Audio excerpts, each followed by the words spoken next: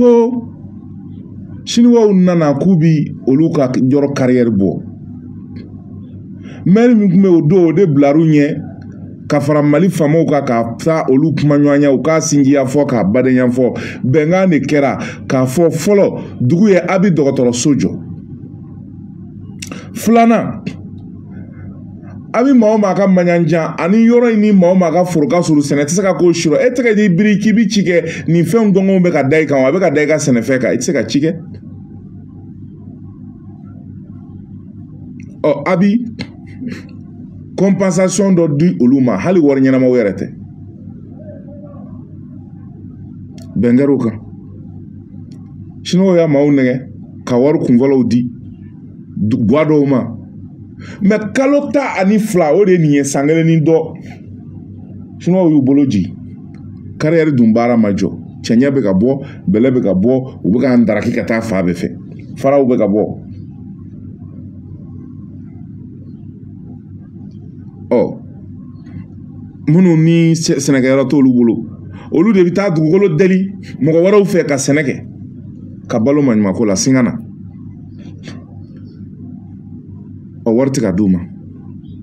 siniwaw yɛrɛ nana ko yɛrɛ bɛɛ jɔ dɔgɔtɔrɔso min n'o layidu tara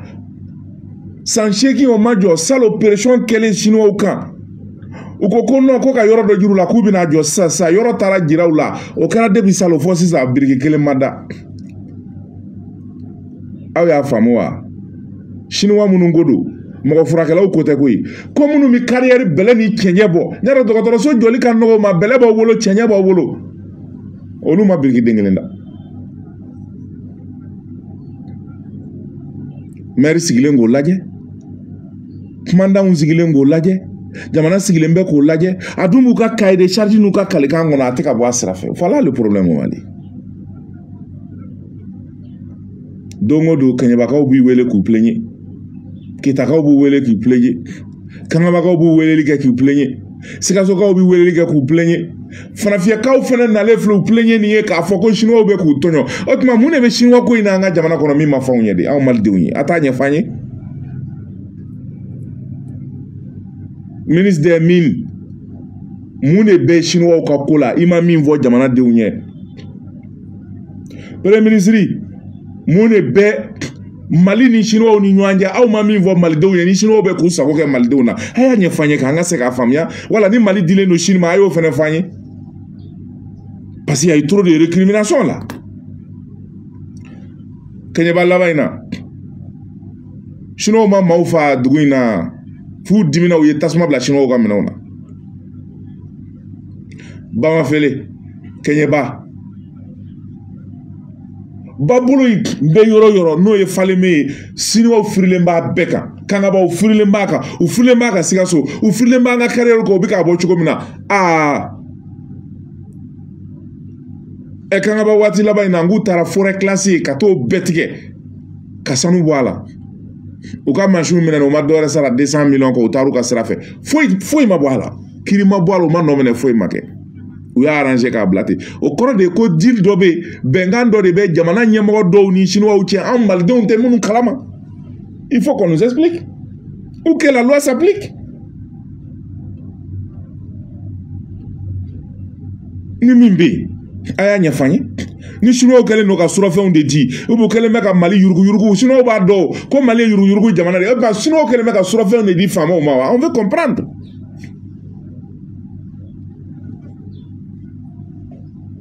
ayi an tɛ se ka diɲɛ n'o ye an faso tɛ se ka to siniwaw bolo u k'a buruja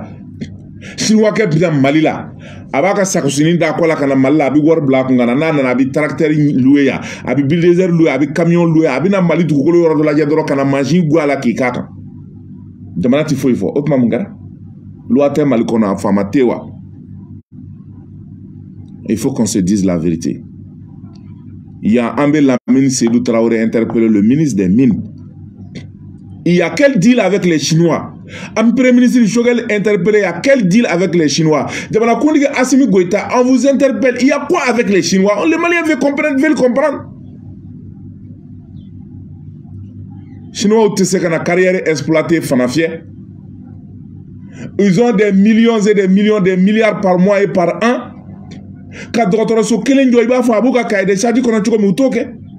anw minnu fa dugukolo don n'u bɛ ka anw ka dugukolo tiɲɛ k'an daraki ka an ka dugukolo sɔrɔ bɔ ka taa n'a ye sini e hali anw kan ka gɔrɔni min kan ka d'aw ma puruke an ka se k'an ka denbaya balo u t'o si kɛ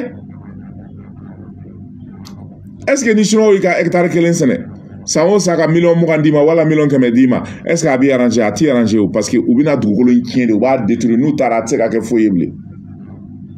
ɔ e tun bɛ e bi balo cogo di siniwaw taalen kɔfɛ u taara ka bɔgɔ su ni pɔsɔni minnu to i b'olu dun wa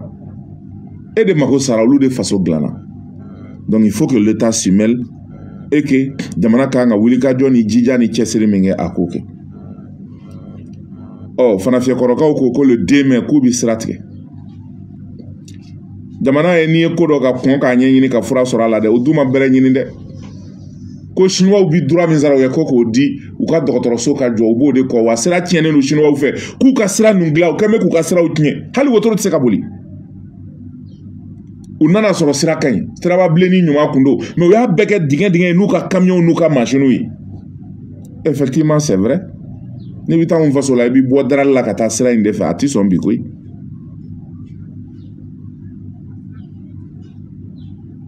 ɲinan samiya tɛ salon samiya anw yɛrɛ y'an bolo don an jɔ a la ka kamiyɔn ta ka faraw doni ka kɛ fɛn in na yen an ni jago komini kalifabugu komini an farala ɲɔgɔn kan k'o kɛ dugumɔgɔw yɛrɛ ka bɔ ni farafinya kɔrɔ ka kelenw an ka bɔ ka fara kɛ yɔrɔ ninnu na o y'a sɔrɔ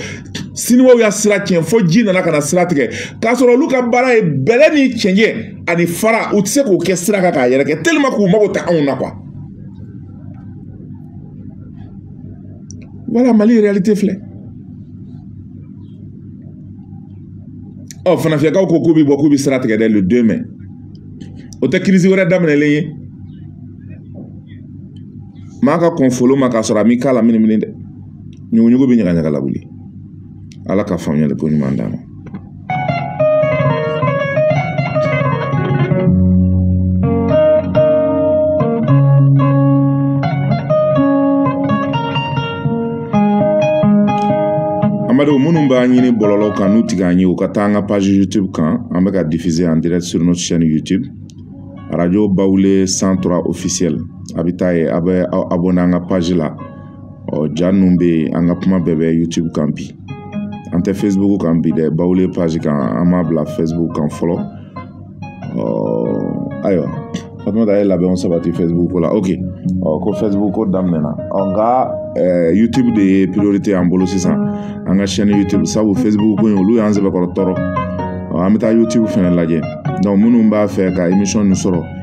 a b'a ta bɛn youtube kan arajo bawule san tura ofisiyɛli arajo bawule san tura ofisiyɛli n'a taara youtube kan a b'o ɲini eresiasi kɔnɔ a b'a sɛbɛn arajo bawule san tura ofisiyɛli a bɛ jamukan sɔrɔ yen a b'aw abɔne ka cloche de notification digi k'aw abɔne an ka paji la ka sɔrɔ k'a partager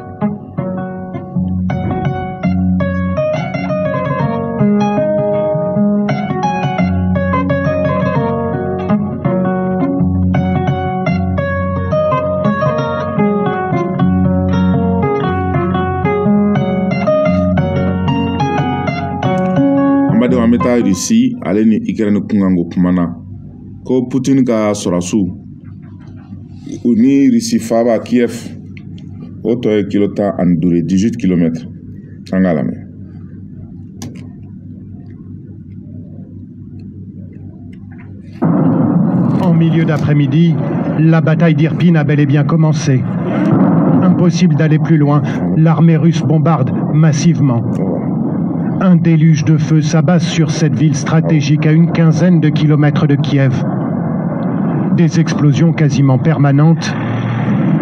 Les soldats ukrainiens reviennent du front sans un mot, l'air exténué.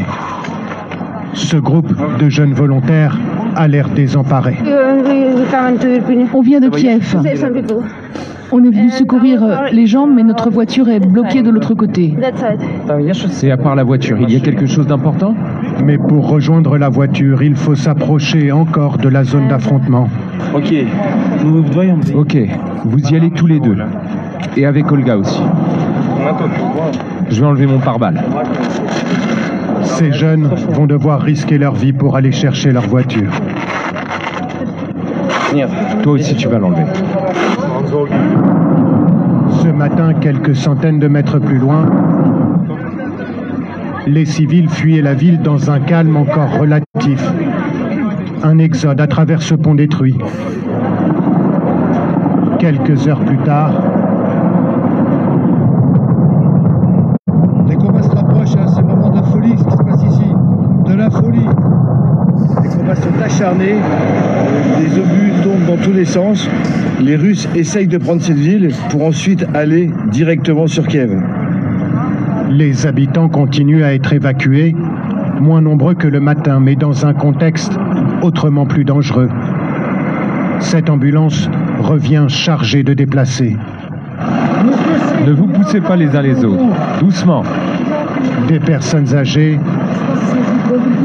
des familles et des enfants. Ah, bah,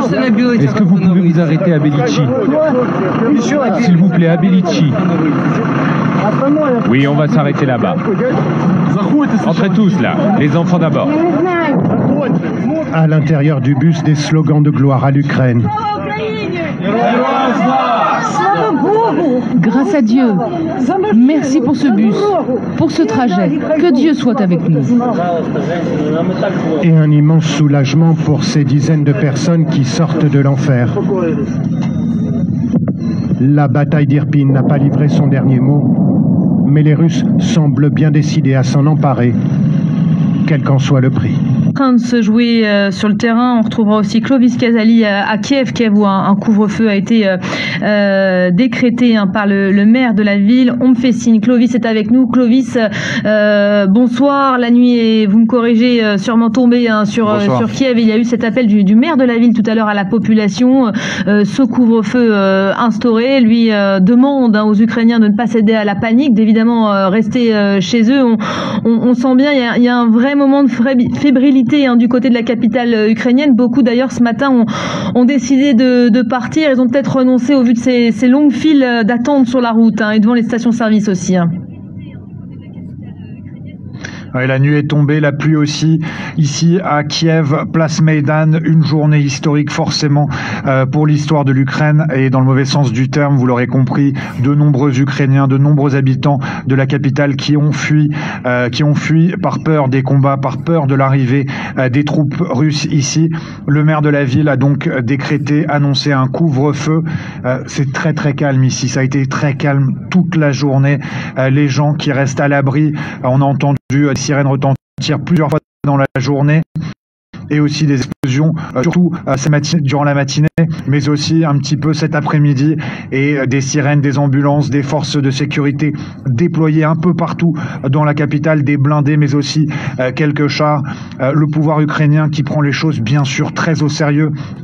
qui voit cette attaque russe, euh, cette invasion euh, opérer un petit peu partout euh, dans le pays. Et il y a notamment d'intenses combats selon la présidence ukrainienne, tout près de Kiev, un aéroport militaire et aussi un peu partout autour. Il y a eu des attaques et forcément des blessés. Selon les Ukrainiens, ils ont réussi à repousser les Russes, les Ukrainiens qui disent combattre farouchement et le président Zelensky qui appelle les Ukrainiens à prendre les armes tous les Ukrainiens prêts à défendre la nation sont invités à prendre les armes et Kiev qui déclare qu'ils leur donneront euh, les armes nécessaires pour se défendre. Ici à Kiev, je peux vous dire, très très calme. Les restaurants, les bars, les commerces, tous fermés euh, aujourd'hui. S'ils ne l'étaient pas déjà ce matin, ils ont euh, baissé rideau durant la journée et ce soir même, de nombreux hôtels demandent à leurs clients d'évacuer, si ce n'est ce soir, demain matin à l'aube. Beaucoup de gens ici craignent une invasion ou au moins des opérations euh, russes dans les toutes prochaines heures, des opérations russes qu'ils craignent visant la capitale euh, Kiev. Un mot peut-être, euh, Clovis, je ne sais pas si vous avez euh, des informations. Hein. on nous indique que il y avait des, combats au niveau d'une base militaire hein, non loin de la, capitale. on nous indique que les forces russes ont déployé là-bas des parachutistes sur l'aéroport de, de, Hostomel près de, Kiev, qu'en gros les, forces russes sont en train de prendre position, de se déployer. On nous parlait aussi d'hélicoptères et d'avions de, et de chasse. Hein. Alors on sait que euh, des euh, hélicoptères russes, euh, selon la présidence ukrainienne, auraient survolé, auraient tenté d'attaquer cette base militaire tout près de Kiev. Il y a eu une riposte des Ukrainiens, selon la présidence ici à Kiev, bien évidemment. Alors je ne peux pas vous confirmer que des troupes au sol vont arriver, ni les informations que vous annonciez tout à l'heure. Ce que je peux vous dire, c'est que la crainte est réelle ici. La population a peur d'une seule chose, c'est l'arrivée des troupes russes ici à quelque chose d'inimaginable encore euh, ces dernières heures. Déjà ce matin, on parlait avec des Ukrainiens qui nous disaient y a-t-il vraiment la guerre On peut pas le croire, ce n'est pas possible. Vladimir Poutine n'a pas ordonné euh, ces opérations, ce n'est pas possible. Il n'a pas attaqué euh, l'Ukraine, mais force est de constater que c'est le cas. Et tout au, tout, au cours de la journée, et eh bien, au fur et à mesure des heures, les Ukrainiens s'en sont rendus compte et donc ils se sont mobilisés. Certains ont fui. On a vu, on était à des stations essence tout à l'heure, on a vu des fils qui s'étendait sur 200, 300 mètres et de manière continue toute la journée. Des gens prêts à attendre une heure euh, pour euh, obtenir de l'essence, pour acheter de l'essence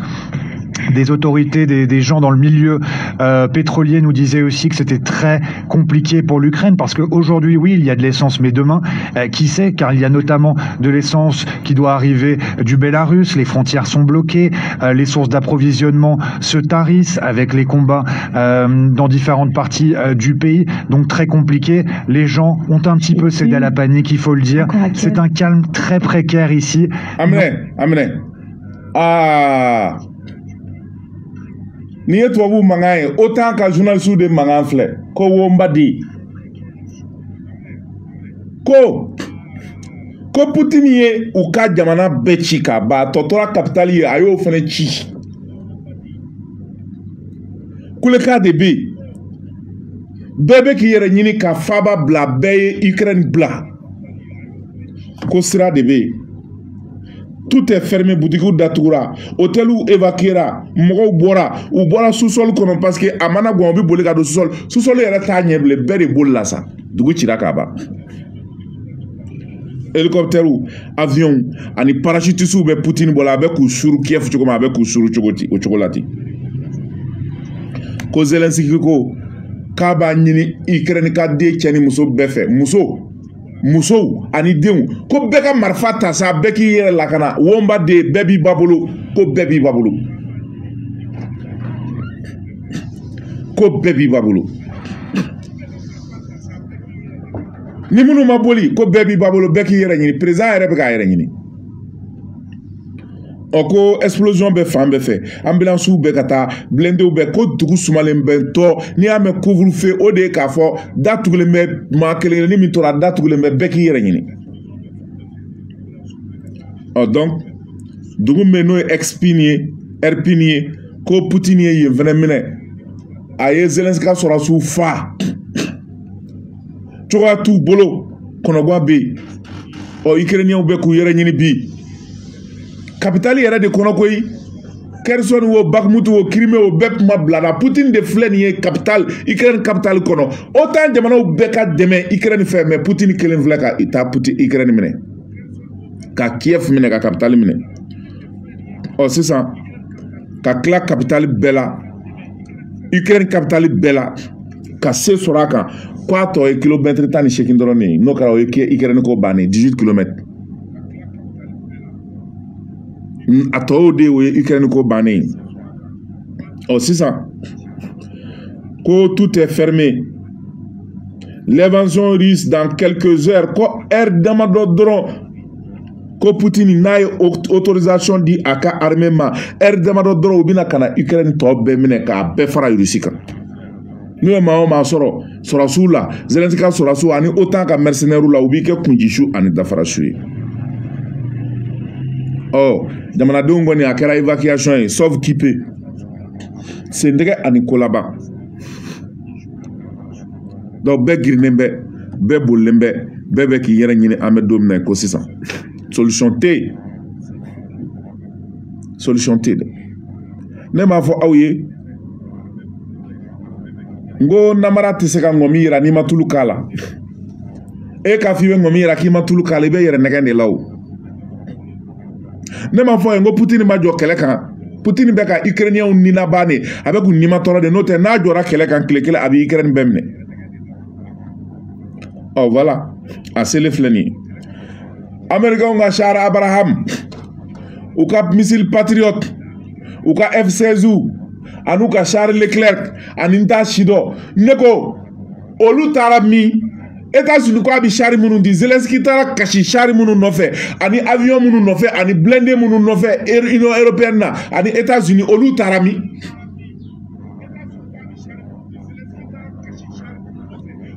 u taara min e ala a nin dun fara zelensiki ye dɛ k'a k'a ka pepulu lajɛ a ka bɔ nin jamana ninnu kɔ ni mafa jamana ni binkanni jamana ninnu k'a ka b'u kɔ a fara zelensiki ye dɛ a lajɛ bi kiefu cira bɔgɔbɔgɔbɔgɔ ukraine bɛɛ cira bɔgɔbɔgɔbɔgɔ kapitali yɛrɛ de bɛɛ wuli évacuation boli ani kolaba sentɛgɛ de bɛ bi bɔn putin ka armée bɛ ka aéroport minɛ dɔɔni dɔɔni maaw bɛ ka boli de ka taa biolorisi ani taasi dɔw jamana tɔw la pɔlɔnya ani wurumani ikirɛniyɛnw bɛɛ bɛ ka boli ka taa yen ne y'a fɔ voilà les conséquences ikirɛni kɔni kɛra apa de ye quoi a kɛra ntolen sogo de ye i b'a di jɛgɛw b'a puruti u b'a dun u b'a ban mɛ zelenski de nɔ don parce que zelenski yɛrɛ jamana kanu t'a la a tɛ ikirɛni jamana fɛ ɔ minnu ko ko mali talen b'i kɔ sɛmɛ putin na irisi la ee ko irisi tɛna se ka se ikrɛni yɛrɛ la yɛrɛ kuma tɛ k'a fɔ ko irisi kana mali dɛmɛ e ma ye les pays de l'union européenne otan les pays américains u bɛɛ de farala ɲɔgɔn kan irisi k'a kɛlɛ ni ikrɛni ko in na parce que ikrɛni de ye leçon ye u ma se putin na o kɔrɔ de k'a fɔ an ka jamana marabaaw taar'u bolo si yɔrɔ min u taar'u bolo da yɔrɔ min na a ɲɛna irisi bɛ se ko la asimi ye irisi ta sajo ye irisi ta a ɲɛna an bolo da yɔrɔ ɲɛna an bɛ ala fo k'ala barikada k'a ɲini ala fɛ halisa ala ka kɛlɛw se d'a ma jamukan ye a y'a partage o bɛ k'a signale a y'a partage a y'a partage a ka taa n'a ye mille ou deux mille partage la o bɛ k'a signale an mago bɛ deux mille partage la sisan sisan sisan parce que u bɛ ka jamukan in signale fesibuku kan donc an bɛ ala fo ka ala barika da mɛ a ma ban dɛ parce que u selen kɔfɛ u la militairement se kɛlen kɔfɛ états unis ni otan na militairement se bɛna k'u la économiquement sɔrɔ sira fɛ ani wari wari sira fɛ se de bɛna boli kan tuguni sɔrɔ ani wari sira fɛ o se bɛna boli cogo jumɛn na jɛkulu min sigira n'o ye wariko jɛkulu kura o k'o de ma brics o brics ale de bɛ ka se sɔrɔ bi an k'o lamɛn discutent de la création de leur propre monnaie de réserve, la R5, basée sur l'or et d'autres matières premières. Le politicien républicain Rubio a récemment admis que si d'autres pays réduisent leur utilisation du dollar américain, les États-Unis perdront progressivement la capacité d'imposer des sanctions à d'autres nations. De nos jours, presque chaque semaine, des accords sont conclus contournant l'utilisation du dollar américain. Le 12 avril, le porte-parole de l'ONU, Dujarik, a annoncé que l'ONU discutait de la question de la réintégration des banques russes dans le système de paiement SWIFT. Le système de paiement SWIFT est l'une des infrastructures financières les plus cruciales à l'échelle mondiale. En février 2022, les États-Unis et d'autres pays occidentaux ont publié une déclaration conjointe excluant certaines banques russes du système. Le 13 avril, le président brésilien Luiz Inácio Lula da Silva s'est rendu au siège de la nouvelle Banque de développement des pays BRICS à Shanghai et a assisté à la cérémonie d'inauguration de Dilma Rousseff, l'ancien président brésilien, en tant que nouveau président de la banque. Dans son discours, Lula a remis en question la nécessité pour tous les pays de régler leurs paiements en dollars américains et a suggéré que la NDB puisse utiliser les devises des pays membres pour les prêts, les libérant ainsi des restrictions traditionnelles imposées par les pays développés. Avant la visite de Lula, la Chine et le Brésil avaient signé un accord pour régler leurs échanges commerciaux dans leurs propres devises. Les médias internationaux ont vu cela comme le début de la dédollarisation du monde. Lula a souligné sur Twitter que la création de la NDB était une étape importante dans l'action conjointe des pays émergents.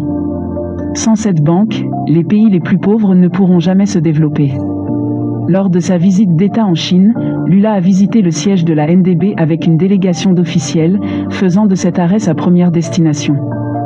Dans son discours, Lula a célébré la nomination de son ami Rousseff en tant que nouvelle présidente de la NDB et a soulevé la question de savoir pourquoi tous les pays doivent régler leurs paiements en dollars américains, suggérant que d'autres devises, telles que le yuan chinois, pourraient être utilisées comme monnaie de règlement international. Il croyait que la NDB pourrait accorder des prêts dans les devises des pays membres, les libérant ainsi des restrictions traditionnelles imposées par les pays développés. Lula a également critiqué les institutions financières internationales dirigées par les États-Unis, telles que le Fonds monétaire international, pour les conditions strictes qu'elles attachent aux prêts aux pays en développement et a affirmé que ces institutions ne devraient pas étouffer les économies des pays en développement. La création de la NDB marque la première fois qu'une banque de développement influente à l'échelle mondiale a été créée sans les puissances traditionnelles occidentales.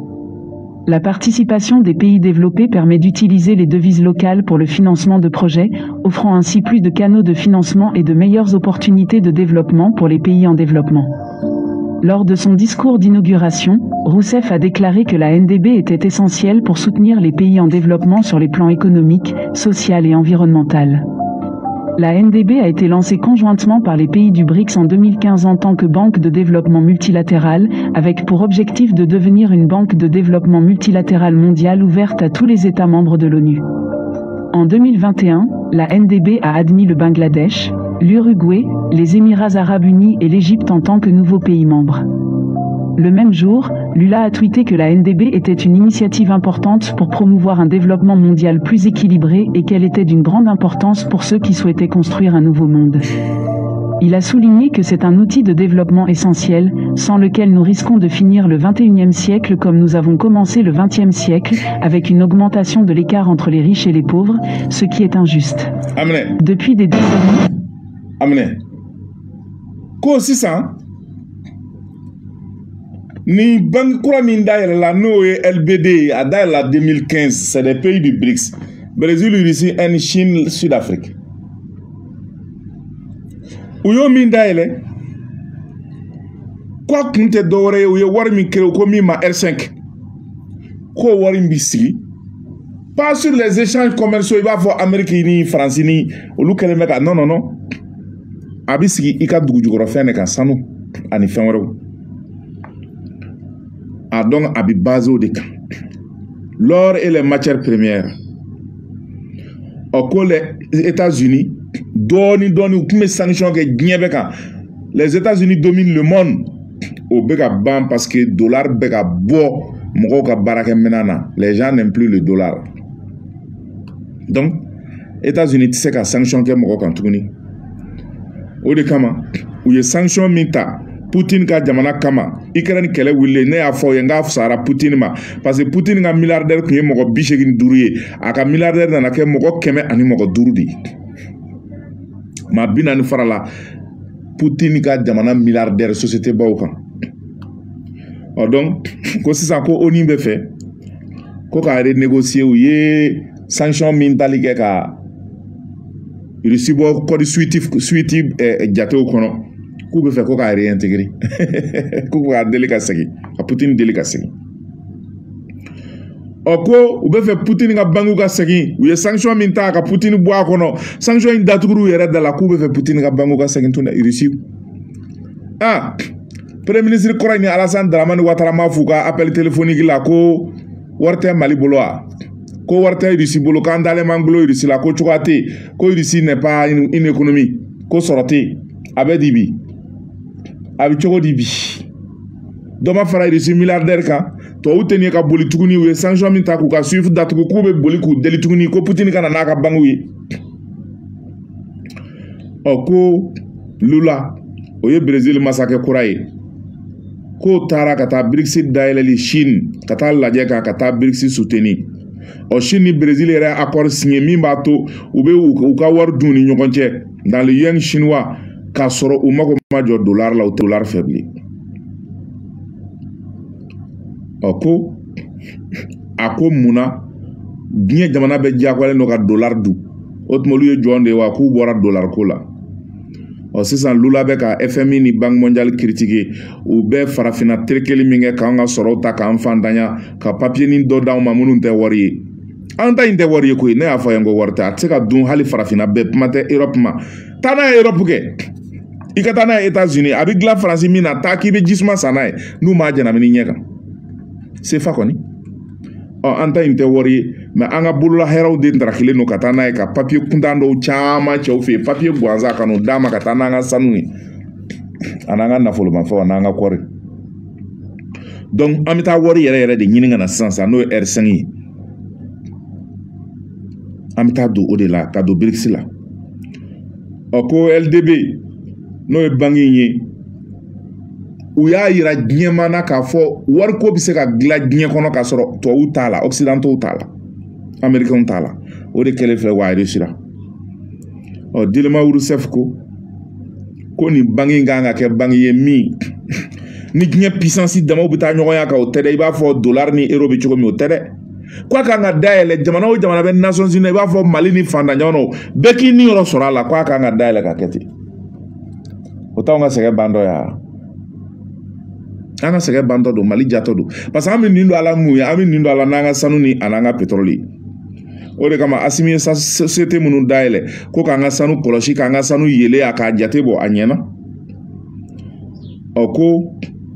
nin objectif ye nin bange in ka kɛ bange ye min ye mɔndiyali yɛrɛ ye kuwa diɲɛ bɛɛ paseke tubabu ka bange mɔndiyali o ye mɔgɔ damadɔ de tɔgɔ ye u b'o o de ta ye u b'a fɔ ko bange mɔndiyali k'a sɔrɔ bɛɛ ta tɛ ɛ mali ta bɛ bange mɔndiyali la an ka mun bɛ yen wari bɛ mali bolo k'an bɛ taa ni min ye an ko faransi nana papiye dɔ de d'a ma yan k'an ye nin minɛ a bɛ nin kɛ tamasiyɛn ye a bɛ komi ni mɔgɔ min ye filenkolon tɛrɛmɛ k'a don i ka misi kan na ka pɛntiri bilenman k'a la ni maa maa y'a o b'a fɔ a nin ye karisa ka misi dɔ ye nin ye karisa ka misi dɔ ye a ye mɛrɛkɛ faransi ye mɛrɛkɛ de da anw na yan wari min b'an bolo mɛrɛkɛ de don tamasiyɛn pour que k'anw bagaya minɛ o tuma o bɛ sɔrɔ ka taa an kunkolo feere an ka sefa in y'o dɔrɔn de ye a tɛ se ka bin farafinna yɛrɛ kuma bɛ faransi ma kuma bɛ diɲɛ jamana ma kuma bɛ etazini ma e ma se ka sefa dun farafinna yan e ma se k'a dun faransi a bɛ dilan yɔrɔ min e bɛ taa ni sefa ye etazini ka mun kɛ u bɛ irisi u bɛ sini u bɛ indonesie u bɛ jakarta an dun ka minɛnw kɔmɛsɔn ka minɛn bɛ ta ye i bɛ taa ni dollar de ye paseke e ye dollar ni euro wala i bɛ taa ni euro e ye dollar ni euro ka jɔn de ye k'o ka ban ko da ka yɛlɛ jamana caman bɛ yen minnu taara i b'a fɔ bɛngilade i b'a fɔ irige i b'a fɔ egypte donc o kɔrɔ ye dayɛlɛlen don bɛɛ ye farafinna ni farajɛla mais tubabu tɛna na o parce que eh, nin y'olu ta datugutɔ de ye ka diɲɛ kura dayɛlɛ diɲɛ kura de bɛ ka dayɛlɛ le système monétaire de bɛ ka falen an bɛ ala fo ka ala barika da o la ɔ n'i y'a ye tubabu bɛna ka na fagaliw organiser an fɛ yan ka gɛrɛw bɛn an kan yan ka mnla ni sema ni n ta sidɔw bila yan ani terorisi zenimu ni eta isilamiki ni alikaida magrɛbu ni n ta sidɔw bila anw fɛ yan u ka anw faga ka genosidiw organise a bɛɛ tɛ nin nɔfɛ ko ye de n'a bɔ suru la k'a kan a dan yɛrɛ ma an yɛrɛ ka taa n'a ye yɔrɔ la yɔrɔ min b'an ja n'o kɛra olu ka se bi ban ɔ faransi general dɔ bɛ yen u b'a fɔ min ma jean jarret General kɔrɔ dɔ ale de tun bɛ Rwanda Faransi ka turupuw ɲɛ en 1994 ale de bilara turupuw ɲɛ ka génocide organiser ka mɔgɔ miliyɔn kelen fa Rwanda ɔ komi ni tubabuw ye kojugu kɛ san'u ka sa u bɛna ɲɛfɔ ko wɛni vienne se confesser ale taara i sigi TV5 na livre yɛrɛ sɛbɛn a kama Faransi y'a min kɛ a bɛ kuma a bɛ fɔɔnɔ a bɛ foronto an ka jean jean yɛrɛ lamɛn tv5 plateau kan. Obéissance et désobéissance, deux choix auxquels chaque homme et chaque femme peuvent être confrontés dans leur vie. Mais qu'en est-il lorsque l'on est un militaire français embarqué dans les soubresauts de l'armée française sur le continent africain Le général Jean Varret est un des hommes qui s'est opposé à la politique de la France au Rwanda. Il se confie dans un livre d'entretien intitulé Souviens-toi, mémoire à l'usage des générations futures. Ces confidences, il les a livrées à Laurent Larcher, grand reporter pour le quotidien français La Croix. Bonsoir et merci d'être avec nous. En quelques points, pouvez-vous nous dire qui est le général Jean Varet? Euh, sa, vie est assez extraordinaire, donc la résumer comme ça en quelques secondes, c'est difficile, mais euh, c'est l'un des plus, un, des officiers les plus euh, gradés de sa génération. C'est un général 4 étoiles qui a fini sa carrière, enfin en fait qui a traversé l'histoire de la 5ème République du côté de l'armée, bien entendu, et qui a été le témoin et l'acteur de la politique française en Afrique. Et il a fini, je dirais, enfin c'est un témoin et un acteur aussi de la politique française au Rwanda, où il a eu un rôle tout à fait singulier qui, euh, bah, dont on va, on va parler, je pense. Justement, mais avant ça, hein, pour quelle raison a-t-il souhaité se confier à vous euh, Alors, il faudrait lui poser la question. Je, je pense que c'est une histoire. Le Rwanda est un tel naufrage pour la France et euh, quand vous êtes militaire, que vous avez donné votre vie à la France et, et que vous avez participé à ce naufrage, euh, même si Jean Varret a été l'un des rares euh, lanceurs d'alerte, euh, qui, s'il avait été écouté, euh, aurait sans doute évité le génocide des Tutsis, ça vous hante. Et je pense qu'il avait besoin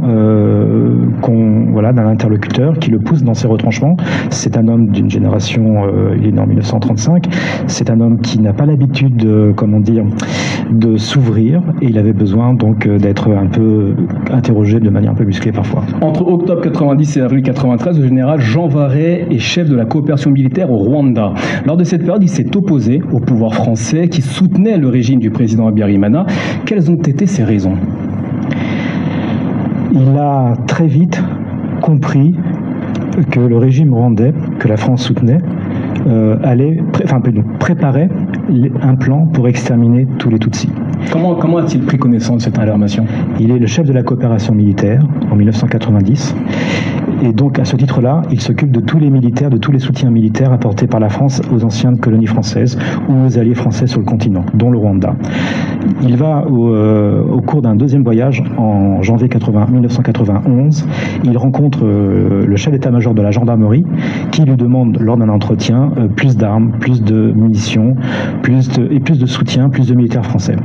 Et Jean Varret lui dit, mais on vous aide déjà beaucoup, pourquoi avez-vous besoin d'autant d'armes et le, chef d'état-major de la gendarmerie rwandaise lui dit à ce moment-là, écoutez, mon général, c'est très simple. Euh, nous voulons en finir avec la question des Tutsis. Alors, euh, Varé dit Mais qu'est-ce que vous voulez dire par là Eh bien, c'est tout à fait simple. Il s'agit de les tuer tous, et vous savez, ça ne durera pas longtemps, parce qu'ils ne sont pas nombreux. Une fois en possession de ces informations, qu'a fait Jean Varé Il en a rendu compte. D'abord à l'ambassadeur de France à Kigali, qui visiblement n'a pas vraiment tenu compte, euh, n'avait pas l'air à la fois surpris et scandalisé par cette euh, révélation. Il en a parlé au président Abiyarimana, qui, là aussi, lui a fait sous-entendre que ce ministre, ce colonel euh, de la gendarmerie allait être envoyé, ce qui n'a jamais été le cas. Et surtout, il a rendu compte à l'Élysée, au Quai d'Orsay, au ministère de la Défense, à la coopération, et il n'a pas été entendu. Vous dites qu'il en a rendu compte à l'Élysée. Dans ce livre, il dit qu'il s'est même entretenu avec François Mitterrand, le président français de l'époque. Que lui a-t-il répondu alors, il, il s'est entretenu avec François Mitterrand à la fin, enfin quand il a donné sa démission, et François Mitterrand lui a fait répondre Je n'ai jamais reçu vos alertes. Comment expliquer le fait que ces informations n'aient pas été remontées jusqu'au plus haut sommet de l'État Le rapport du clerc, du moins la commission du Duclerc qui était chargée d'ouvrir toutes les archives de la France de cette époque-là, n'a pas retrouvé ces alertes-là. On suppose donc qu'elles ont été éliminées, qu'elles ont, qu'elles ont, disparu des archives, et surtout que ceux qui étaient chargés d'informer le président ne l'ont pas fait. Le général, général Varé est-il parvenu à comprendre les non-réactions hein, des pouvoirs rwandais et français à cette époque il a assez vite compris qu'au Rwanda, la politique était une politique d'extermination donc euh, il ne pouvait pas être entendu. Du coup, enfin, de sorte qu'il a pris comme position de refuser, comme il le pouvait, l'aide demandée par le Rwanda en termes de, soutien militaire. Et du côté des autorités françaises, il s'est heurté à un mur. Les gens ne voulaient pas le comprendre, aussi bien les politiques que les militaires euh, ne voulaient pas l'entendre. En fait, ce qu'il disait contrevenait à l'idée que se faisaient les, les autorités françaises de la politique nécessaire à tenir au Rwanda. C'était contradictoire, contre-intuitif, je ne sais pas. Euh, il y a eu comme une, limite cognitive qui fait qu'ils n'ont pas voulu entendre euh, qu'on était en train de soutenir un régime qui préparait l'examination d'une partie de sa population, en raison même qu'elles étaient Tutsis. En mars 2021, en France, la commission nucléaire a conclu à la des responsabilités lourdes et accablantes de la France dans ce qui s'est passé au niveau du génocide des Rwandais. Le général Varé partage-t-il ses conclusions Alors euh, oui, enfin en tout cas, euh, je pense que oui, il les partage. Euh, D'abord, il faut dire que ce rapport l'a réhabilité, ce qui est très important. Euh, cet officier 4 étoiles, général 4 étoiles, a été, est parti de l'armée, comme ça, par la petite porte. Euh, et euh, il faut aussi le dire quand même, ça a été le seul officier de l'époque, de 1990 à 94, qui a été invité par le président Macron à se rendre à Kigali en 2021, au moment de ce fameux discours qui établit la, la, la reconnaissance de la responsabilité française dans le processus qui a conduit au génocide. Justement, à cette époque, il était beaucoup question des excuses général Varé est-il partisan des excuses de la France vis-à-vis du Rwanda Non, sur ce plan-là, il est très clair. Il ne comprend pas pourquoi on, s'excuserait. Autant il comprend la faute et il l'admet, autant il pense, mais c'est un homme du passé, euh, que, le président n'a pas à demander des excuses. Ça serait, il a ce terme assez choquant, je trouve, déculoter, se déculoter si on demandait pardon aux, Rwandais. amenez, Ah, Jean Varret. Général 4 étoiles Jean Varret. Fransika den don a ma sɔn a ka sa fiyewu n'a ma livuru sɛbɛn k'a ɲɛfɔ ale ka mémoire ye min ye a ye min ye rwanda faransi ye min kɛ fɔlɔ min kuma na nin fana n'o tɛ kelen dɛ nin ye maakɔrɔ ye a ko faransi ka politiki française en afrique ale de tun b'o kunna wa a ye rwanda kɛ a ko wuranda ye nofaraji de ye faransi tora ji la ye de parce que ale kumana faransi marabaaw fɛ o don ka kan bɛ f'u ye ka fɛn bɛɛ kɛ k'u nɛgɛ k'u deli ka fɛn bɛɛ kɛ pour que u kana se ka sɔn cogoya si la génocide ka taa kɛ faransi fɛ wuranda territoire kan ko mɛ ko faransi ma ale lamɛn donc ko faransi ye fɛn bɛɛ kɛ pour que ka fanga min bɛ o don k'o fanga dɛmɛ olu kan o ale ale o fanga in bɛ se ka dɛmɛ cogo min n'o ye abimariwana ka fanga ye o don uranda wa faransi ye u ye marifa ɲini faransi fɛ ani mugu ni kisɛ k'u bɛ taa tutisiw faga faransi sɔnna donc ale bɔra ko bɛɛ kalama parce qu'il était le chef de la coopération militaire a ye lɛtiriw sɛbɛn ka alɛritiw kɛ wagati la wagati min ni faransi bɛ ka armu ni mugu ni kisɛ di mɔgɔ fagalaw ma genosidikɛlaw ma ka tila k'u dɛmɛ u ka mɔgɔ ninnu faga n'o ye tutisiw ye ko ale ye alɛriti kɛ ka dɛsɛ finalima a y'a ye a ka kuma tigɛ mɛ a ye denmisɛn randi mitara y'a wele ka na a ko mitara ma ne denmisɛnnin kun ye nin ye n ye nin ni nin f'i ye mitara ko nɔnɔ k'ale m'a mɛn ko a ma s'ale ma a sera a ma sa a y'i tugu k'a kɛ komi a ma mɛn u bɛ u y'a dogo a la a kɔni ma mɛn mɛ mitara ka mɔgɔ minnu bilalen bɛ ka baara kɛ ale de y'u bila ye ɔ ko arisibu ye ko in dogo hali faransi population na faransi ma kuma a ye tutuw armée u ka utu utu armée u ka tutuw faga donc a y'a faamu k'a fɔ faransi ka politiki de y'o ye ka génocide kɛ maa si m'a lamɛn a kumana ka dɛsɛ parce que ale hakilina n'u ta tɛ kelen ye u bɛ ka baara jugu min kɛ farafin ni tɛ jate u bolo u bɛ ka farafinw faga faransi bɛ k'o kɛ u ma farafinw ni dati maa miliyɔn kelen zara ka su fililen to ka su jeni komisɔn dɔ nana sɛgɛsɛgɛli kɛ kosa in na faransi b'a fɔ komisɔn ma ko komisɔn leclerc o ye jean jarɛ ka kumaw tiɲɛtigiya ka tiɲɛ segin jean jarɛ ma k'a fɔ faransi de jalakira faransi de ye ko in kɛ ɔ ale fana kɛra mɔgɔ ye mɔgɔ min denmisɛnnin na k'a yira k'a fɔ il n'est pas d'accord o de kama en 2021 ko makɔrɔn taatɔ kigali ka taa discours kɛ parce que ani polu kagame bɛ jɛ la sisan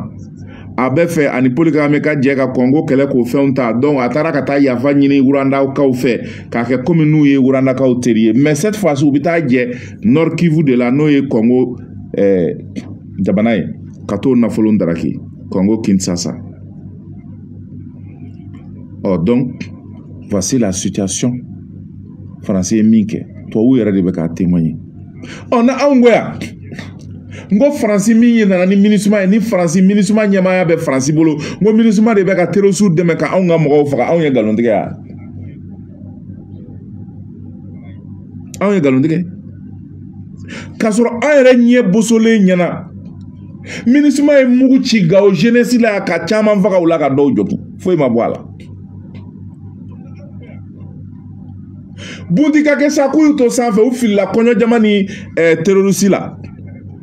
e eh, mɛ minnu ye mugu ci gawo jeunesse la yan 2015 olu tun ɲɛ tɛ mɔgɔw la de mali ko preuve bi duuru b'a bolo nations unis na ko faransi ka sigi o b'a jira démontré a plus b k'a fɔ ko u bɛ ka mali maliyɛnw faga u bɛ ka terosiw dɛmɛ u banna Donc c'est terre à terre, c'est la MINUSMA qui nous tue. C'est la MINUSMA qui arme les terroristes, qui les renseigne. Asimika, chef, chef, de, chef de cabinet Fali, c'est la MINUSMA. Attaquer minnu bɛ ka kɛ ka minnu don mali armée ɲɛ c'est la minusma n'o tɛ terrorisiw b'a dɔn cogo di ko mali sɔrɔdasiw bɛ ka taa nin yɔrɔ in na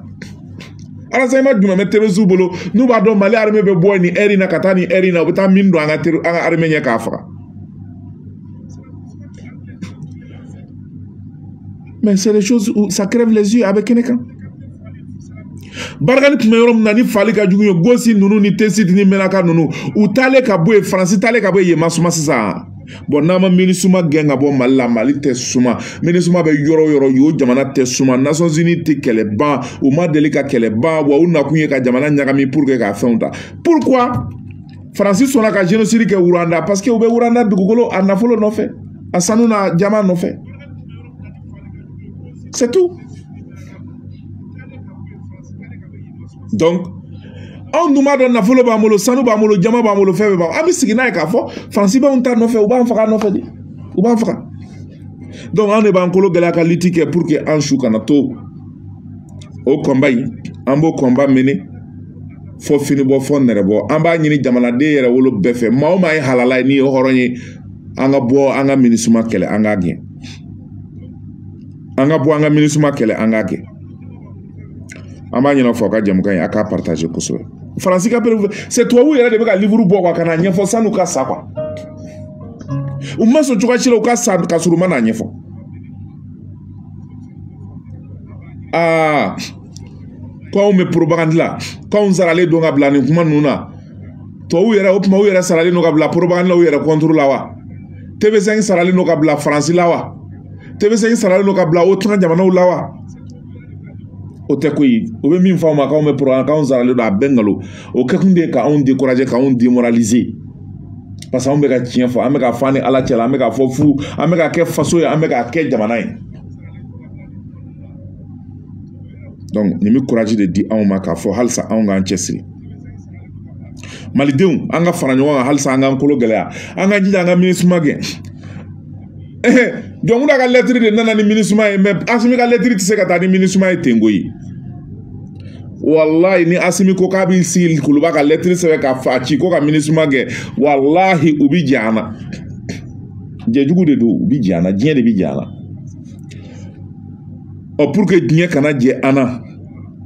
diɲɛ kana na firi an ka diɲɛ kana na bingani k'an na diɲɛ kana na don n'an ye dajugu fɛ diɲɛ kana jɛ an na k'an janfa an bi fɛɛrɛ de tigɛ pepulu de bi wuli k'i jɔ ka kɛlɛ kɛ ni pepulu wulila k'i jɔ ka kɛlɛ kɛ n'o kɛra diɲɛ bi siran ɲɛ n'o kɛra diɲɛ b'an to yen a sira de y'o ye wa jamana marabaaw ye kɔdu de d'an ma kɔdu kɔdu asimi ye kɔdu de d'an ma kɔdu ye mun ye jamanadenw an ka ɲɛ yɛlɛ asimi kɔdi damadɔ d'a ma dɛ faransi de nana ni minisuma ye la résolution 2100 min nana ni minisuma ye 2013 faransi de taara n'a ye nations unies na ka na n'a ye an y'o faransi gɛn akɔri min b'a ni faransi cɛ min b'a to faransi bɛ kuma an ka militɛrima an tɔgɔ la an y'o akɔri fara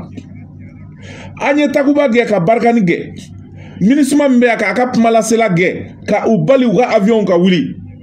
ka tila tuguni ka t'o faransi kelen sigi jɔn na nations unies na ka faransi wele k'a sigi jɔn na nations unies na ka fɔ an t'a fɛ a k'an kunkan ko kuma fɔ tuguni an y'o fana bɔ sa la porte pile ma an y'o bɛɛ o tuma anw bɛ anw b'a fɛ asimi ka kuma ɲɛ kan jumɛn na an jamanadenw de kan ka dɔn sa ka fɔ jamanakuntigi kɔni bɛ ka minisuma kɛlɛ a bɛ k'u gɛn ka bɔ yen mɛ a tɛ se ka bɔ a da la a tɛ se k'a jira parce que jamana dɔw b'a kɔnɔ n'olu ye teri ye n'a y'a bɔ a da a bɛɛ de bi tiɲɛ mɛ aw minnu ye pepulu anw de kan ka wuli ka jɔ kɛ k'an cɛsiri pour que an ka minisima gɛn ka bɔ an da la donc sisan an bɛ baara de kɛ an bɛ jija de kɛ an bɛ cɛsiri de kɛ an bi fara jamana kan an bi jamana dɛmɛ pour que o baara ka kɛ asimi ye baara min daminɛ a y'a kɛ anw de ye an b'a dafa wa k'a daw bɛɛ tulo kan asimi tɛ minisuma fɛ a t'a fɛ k'a ye voilà pourquoi isa kɔnfuru ani tubabuw kɛlɛla nations unies na o don na minisuma ka rapport ko kuma in na kɛlɛ yɛrɛ de bɛ yen sa kɛlɛ yɛrɛ de bɛ yen mais diplomatiquement relation internationale la asimi tɛ se k'a fɔ bɔn n ye diɲɛ bɛɛ gɛn e bɛ se ka minisima ye nations unies de ye o diɲɛ jamana bɛɛ ka mɔgɔ nalen e bɛ se ka bere ta k'i bɛ diɲɛ jamana bɛɛ walo n'a ye cogo di e kelen o ye kodɔn ye o ye kodɔn dɔ ye wa o tɛ kodɔn ye dɛ donc bi bi in na mɔgɔw kan ka dɔn ko asimi tɛ se ka bere ta ka minisimaw walo k'a fɔ ko n y'a gɛn asimi bɛ sinji de yira jamanadenw na an ka wuli an k'an jɔ an kolo la an ka simini sima gɛn paseke mali anw de ta ye jamanaden dɔ de bɔra anw cɛma k'o bila jamana ɲɛfɛ n'ale bɔra ye dɔwɛrɛ bɛ bɔ an cɛma k'o bila jamana ɲɛfɛ donc jamana ye anw de ta ye anw kan k'an jɔ an jɔyɔrɔ de la k'an kolo gɛlɛya ka minisima gɛn o de kama segu bi bɔ gawo bi bɔ tɔnbɔkutu bɛ bɔ sikaso bɛ bɔ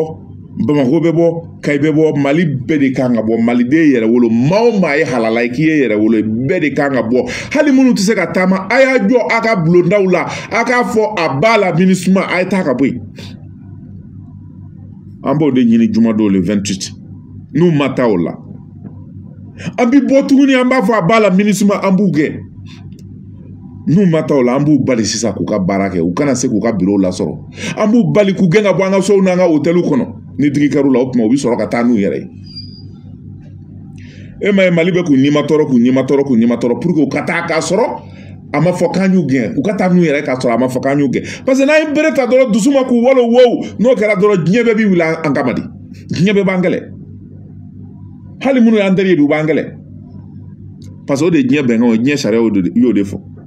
ɛ n'u u b'an kɛlɛ cogo di hali ni irisi ma bere ta an kama sini ni turiki ani iran u b'u sigi ka an kɛlɛbaw lajɛ u k'an kɛlɛ parce que o ye diɲɛ bɛnkanw de ye nasɔn tini sigir'o de kan donc an b'u gɛn fɛɛrɛ de la o fɛɛrɛ in tɛ dɔwɛrɛ ye pepulu de bɛ wuli k'a jɔ ale b'a jɔyɔrɔ fa n b'a ɲini aw fɛ an k'o baara kɛ an k'o jija kɛ an k'o cɛsiri kɛ an k'o keguya sɔrɔ an k'o sɔmi sɔrɔ an k'o wuli ka jɔ n'o baaraw kɛ mali tɛ manamana jamana ye bilen koyi wa diɲɛ yɛlɛmali le changement du monde aa ha a bɛ tɛmɛ mali fɛ désormais dɛ a bɛ tɛmɛ mali fɛ désormais mais n'i y'a mɛn mali mali pepulu tɛ wa mali jamanadenw tɛ anw minnu ye jamanadenw ye a bɛ tɛmɛ anw de fɛ anw de kan k'an jɔ an jɔyɔrɔ la an b'a la fɔ k'a la barika da o la ɔ ataki min kɛra sevare k'a jira k'a fɔ faransi nɔ don tubabuw nɔ don u ka janfa don abudulu ɲangi bɛ ɲɛfɔli k'an y'o la an ka abudulu ɲangi ka kɔrɔfɔw lamɛn Pati mɔgɔ ninnu wulila sisan k'u bɛ taa kan atake drone ye u detɛkite depuis u ma gɛrɛ drone wulila sanfɛ k'u bombarde k'u detruit mɛ komi mobili fila min tun bɛ yen mobili fila in bɔnbu de b'a kɔnɔ a explosera yɔrɔ min o ka surun sow la a ka surun station na a ka surun mobiliw la donc o explosion pɛrɛnkanw ni fɛnw a ye tasuma bila mɔbili dɔw la a ye dankari station dɔw la mankan in fana ye du dɔw bin o du ninnu bintɔ binna mɔgɔw kan o de la civil tan sara i b'a ye k'a fɔ sɔrɔsi kelen ma to a ko la u ma se ka gɛrɛ k'an yɛrɛ la kuma se ka dankari kan na mobili sabanan in o tun ye sitɛrɛni fitinin dɔ de ye u tun kɛ u y'o tigɛ ka bɔnbu don a kɔnɔ ka tila k'a ko a sude a nɔ na n'o pɛrɛnna o ye o tun bɛ laɲini ye ka aéroport ka aéroport n'a kɔnɔfɛn k'a bɛɛ de détruit ka bɔ yen donc drone ye o fana gosi k'o k'o détruit o fana explosion o mankan santira fo mɔpti kɔnɔna la yɔrɔ seware ni mɔpti 15 kilomɛtɛ dɔw yɛrɛ ɲɛna k'olu ka so min gunnen b'olu la k'o so de benna dɔw yɛrɛ ɲɛna k'a kɛra olu yɛrɛ de kɛrɛda fɛ alors que c'était à 15 km tellement que décharge min bonyana quoi donc je crois que ko nin kɛra nin kɛcogo de la mɔgɔ min ma se ka gɛrɛ aéroport la min tun viselen don u ma se ka gɛrɛ sɔrɔsikan na n'o ye gardiw ni gendarmerie gendarmerie min tun fɛnnen don donc minisuma ko kuma bɛ min yan mais mais mais mais n'i ye jateminɛ i bɔra k'o minisuma ko kuma fɔ a yira k'a fɔ kunnafonidila dɔ de bɛ min tun bɛ mali kɔnɔ yan mais bi a bɔra a bɛ kalo wɔɔrɔ yɛrɛ bɔ a tɛ mali kɔnɔ min ye chef d'année ale de y'a yira k'a fɔ minisuma mɔgɔw ka contingent surtout contingent sénégalais ko de ye mɔgɔ ninnu repousser an y'a ye chef d'état major de bɔra k'a yira k'a fɔ contribution kelen mais nin kunnafoni sugu ninnu intérêt jumɛn de b'o laɲini jumɛn de b'a kɔfɛ bon je crois que est ce que a man kan ka ɲini don de nin information sugu nin d'ale ma euh, ko in kun planifiyelen don déjà attaque fɛn o fɛn bɛ kɛ minusma ni faransi ninnu u bɛ nin bɛɛ kalama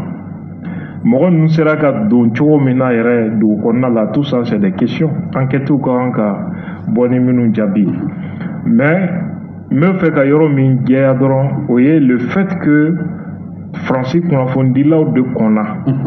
ka ni kibaruya yira wa kibaruya kɔnna ka fɛn min yira o ye minisuma k'o ye jɔda min ta ko in kɔnɔ k'o yira ça veut dire que tout était préparé pour que ka minisuma ka rôle de yira k'a fɔ minisuma bɛ sababu ɲumanya de la mali kɔnɔna la or a nana jate minɛ k'a fɔ o kuma tɛ tiɲɛ ye minisuma yɛrɛ ye twiti dɔ kɛ bi ko nɔn k'olu ma siviliw faga ko gulon bɛ ka da u la ataki sen fɛ ko eh, olu ye eh, olu ka terorisi ninnu ye marifa ci ka ɲɛsin olu ka sɔrɔsiw ma k'u ka sɔrɔsiw y'u jaabi mɛ ko operasiyɔn min kɛra sevare ko mali sɔrɔsiw de ye o operasiyɔn kɛ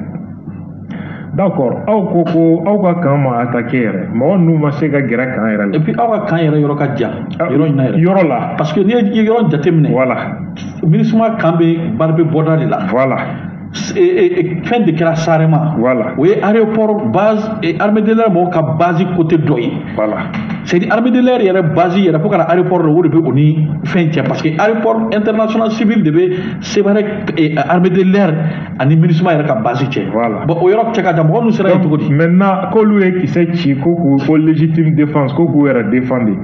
maintenant mɔgɔ minnu ma se ma gɛrɛ hali aw fan fɛ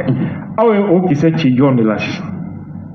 c'est pourquoi sevarekaw dusu kasilen don ko minisuma ye kisɛ ci siviliw la nin nin nin ko in man kirigɛra kɔnɔna la bɛn aw yɛrɛ ko ko non k'aw y'aw yɛrɛ défendre k'o ye kisɛ ci ka ɲɛsin olu ma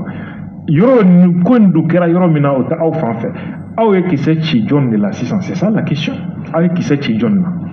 deuxièmement ee minisuma gɛnni ko kuma de bɛ maliyɛnw da bi u ka mandat renouveleli ko kuma bɛ sen na mois de juin mali dun ko k'u tɛna jɛn n'a ye faransi ka plume ta bilen entre temps attaque ninnu bɛ ka tugu ɲɔgɔn na o délai bɛ ka gɛrɛ attaque bɛ ka tugu tugu ɲɔgɔn na an bɛna don kalo min na sisan manda in tɛrɛmɛli baara de bɛna daminɛ daminɛ min kan ka don min man ka don o kuma de bɛna daminɛ donc a vote ye mois de juin entre temps attaque ninnu bɛ ka daminɛ minusima ko kuma bɛ ka daminɛ c'est une pression politique attentat ninnu ye pression politique de ye fanga bannen bɛ fɛn dɔ ma ka fanga jagoya ka na ni jigilatigɛ waleyaw ye ka na ni destruction ye pour que ka fanga sigi a sen sabara kɔnɔ fanga ka sɔn laɲini ma o de bɛ sen na san o san i b'a jateminɛ à partir du mois d'avril mai atakew bɛ ni atake suguw bɛ kɛ ka ka juguya de mais ala y'u to zen ta la parce que u ma se ka gɛrɛ kan na kuma tɛ ka cible atteint ils ont été détruits minnu bolibaatɔ k'u bɛ taa u taara poyi donsow ka eh, poste dɔ kan u ye eh, maa fila minɛ olu la k'olu kunkolo ta ka b'u kan da la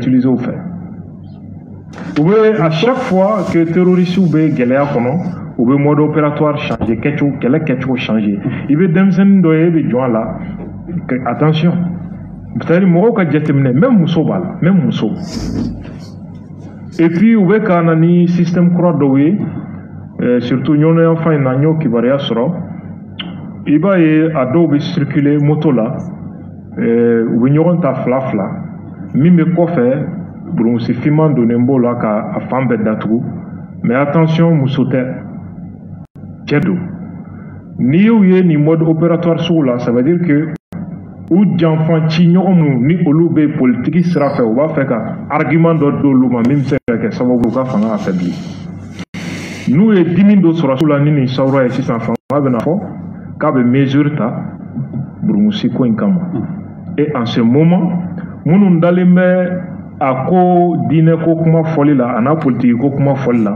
u bɛ wuli ko fanga bɛ ka diinɛ kɛlɛ u bɛ wuli ko laïcité de nɔ ye nin ye donc u bɛ balaw dɔ don capital kɔnɔ. ok an y'a faamuya ɔ sisan abubakari siriki fɔnba ani honorable kalilu watara olu minnu ye korema jɛkulu ɲɛmaaw ye u ye barodalasigi kɛ kunu k'u fɛta fɔ ko in na an ka korema maaw lamɛn. a y'a partaze a ye misɔn in partaze a ka kɛrɛ bila a ye partazi caya an k'a jira tubabu la k'a fɔ an sɛbɛn nin ko in ye an ka partazi caya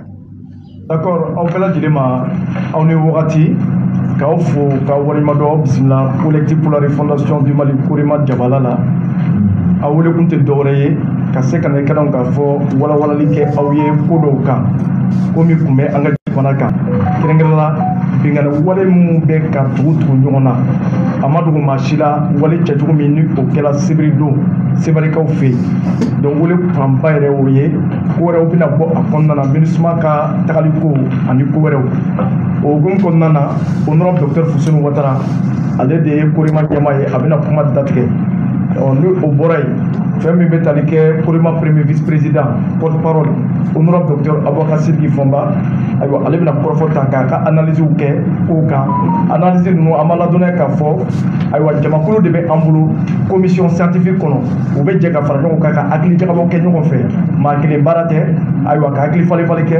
ayiwa ka sɔrɔ ka a sɛbɛn furaw labɛn min bɛ jamana ni jamanadenw nafa o kɔfɛ kɔrɔfɔ bɛna di honorable aminata sangari ma madamu kulibali ale bɛna i ka dɔn k'a fɔ a da don ayiwa kɔrɔfɔ dɔw la wa ɲɛfɔli kɛ aw ye walasa ka se ka maaw bilasira hali bilen o kɔfɛ an ka cɛkɔrɔba bɛ yan n'o ye kolonɛl yatara ye an b'a yɛrɛ fo ka waleɲumandɔn sira ni waati bɛɛ lajɛlen san pour cent korema il est de la communauté noire quel tamashek quel aish donc an b'a fo ka waleɲumandɔn an ka secrétaire général bɛ yan n'o bɛ tali kɛ i ka dɔn k'a fɔ serutali kan an b'a fɔ ka walemadɔ monsieur le maire ani le président de la jeunesse korema dirisa konate le segal également adjoint et puis segal du, de l'adpm sumaworo a bɛ yan ka taa se ka dɔn k'a fɔ an ka coordinatrice ni coordinateur caman ma mali la diaspora maa dɔ bɛ anw fɛ yan bi ayiwa min bɛ korima na donc an b'aw bɛɛ fo k'aw bɛɛ lajɛlen walima dɔn an bɛna kɔrɔfɔ di honorable docteur fuseni watara ma ale bɛna dantigɛliw kɛ dantigɛli bɔlen kɔfɛ kɔrɔfɔ bɛ di onɔrɔ dɔkitɛri abubakar sidiki fɔ ma ayiwa n cɛ abdul eh, silamɛ jama a bɛ n'u la baasi tɛ an y'a wele korema sɛzi la bi a bɛna hakili jagabɔ kɛ ko damadɔw kan komi a yɛrɛ b'a dɔn dɔgɔkun laban in na ka se bi ma kasara caman sera mali yɔrɔ caman na an ka faamaw u y'u jɔ u jɔyɔrɔ la mɛ a ma taa cɛbalen damadɔw bin'u la o de la n bɛ aw bɛɛ deli an ka wuli ka tasi bila f'u ye an ka une minute de silence bila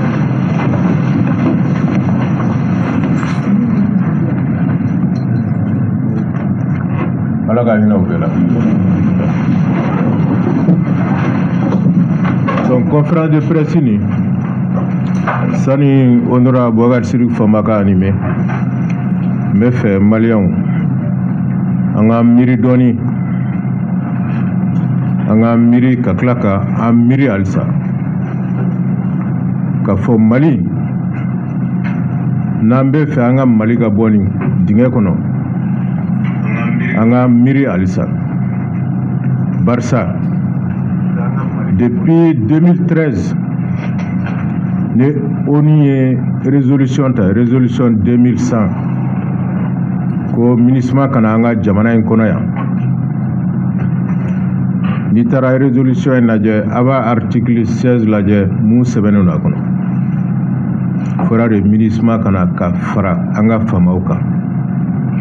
ka mali yɔrɔ bɛ sécurisé fɛn fɛn bɛ bamaci bolo k'a minɛ u la ka mali dɛmɛ an ka faamaw ka se ka yɔrɔ bɛɛ lakana mali kana tila wa mali ka kɛ dugu kelen ye an ka administration ka taa yɔrɔ bɛɛ la minisiman ka manda fɔlɔ o de tun fɔlen don kɔnɔ mɛ depuis o don ko fo bi minisiman depuis a sera mali la wagati o wagati ne avril kalo sera ne mai kalo sera an b'a ye atakiw bɛ caya an ka dugu kɔnɔ fagali bɛ caya mɔgɔw hakili kan ka to sobenda la ogo sagu bulkesi ani dugu jumɛn wɛrɛ tugun bɛɛ b'a dɔn dugu caman n'i y'a lajɛ ninnu bɛɛ atakera nin kalo ninnu de kɔnɔ wa o kalo o kalo ninnu bɛ mun fɔ o b'a fɔ de ko minisima ka manda dɔ bɛna fara kan dɔ tɛna fara kan o tuma de sera wa tuma bɛɛ n'o tuma sera Pur que k'a jira k'a fɔ ko lakana sabali tigi tɛ mali kɔnɔ walasa dɔ ka fara ka manda ka taki ninnu bɛ caya ne mɔgɔ ma da la a bɛ taa sɛbɛnw lajɛ o de la an bɛ hakili jigin kɛ bɛɛ k'i miiri an ka minisiri n'o ye kolonɛli sayo kamara ye mun b'an ka golomasiri tabaga kunna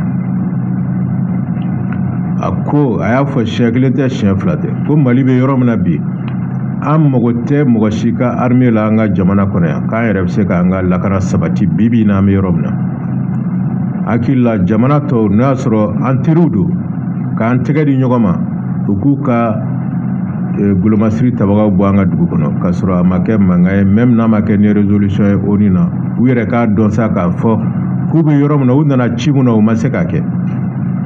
donc an y'a faru ma kɛlɛ tɛ foyi tɛ n hakili la alimaɲi ka alimaɲi y'o faamu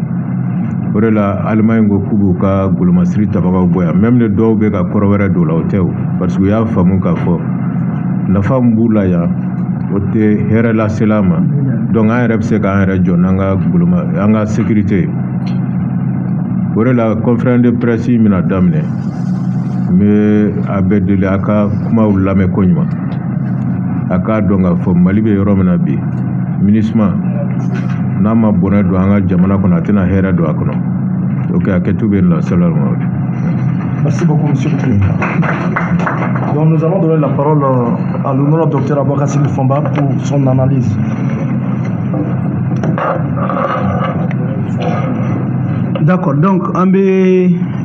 bɛɛ lajɛlen fo laadala ko la yanni an ka an ka kumaw ka don u la an bɛ to ka an ka jamana jɔnjɔn k'o fɔ an ka bamanankan na komi an ka denmisɛnninw ka ɲɛma bi yan an b'a ɲini bɛɛ fɛ bɛɛ ka wuli an k'an ka jɔnjɔn fɔ an yɛrɛ ka kan na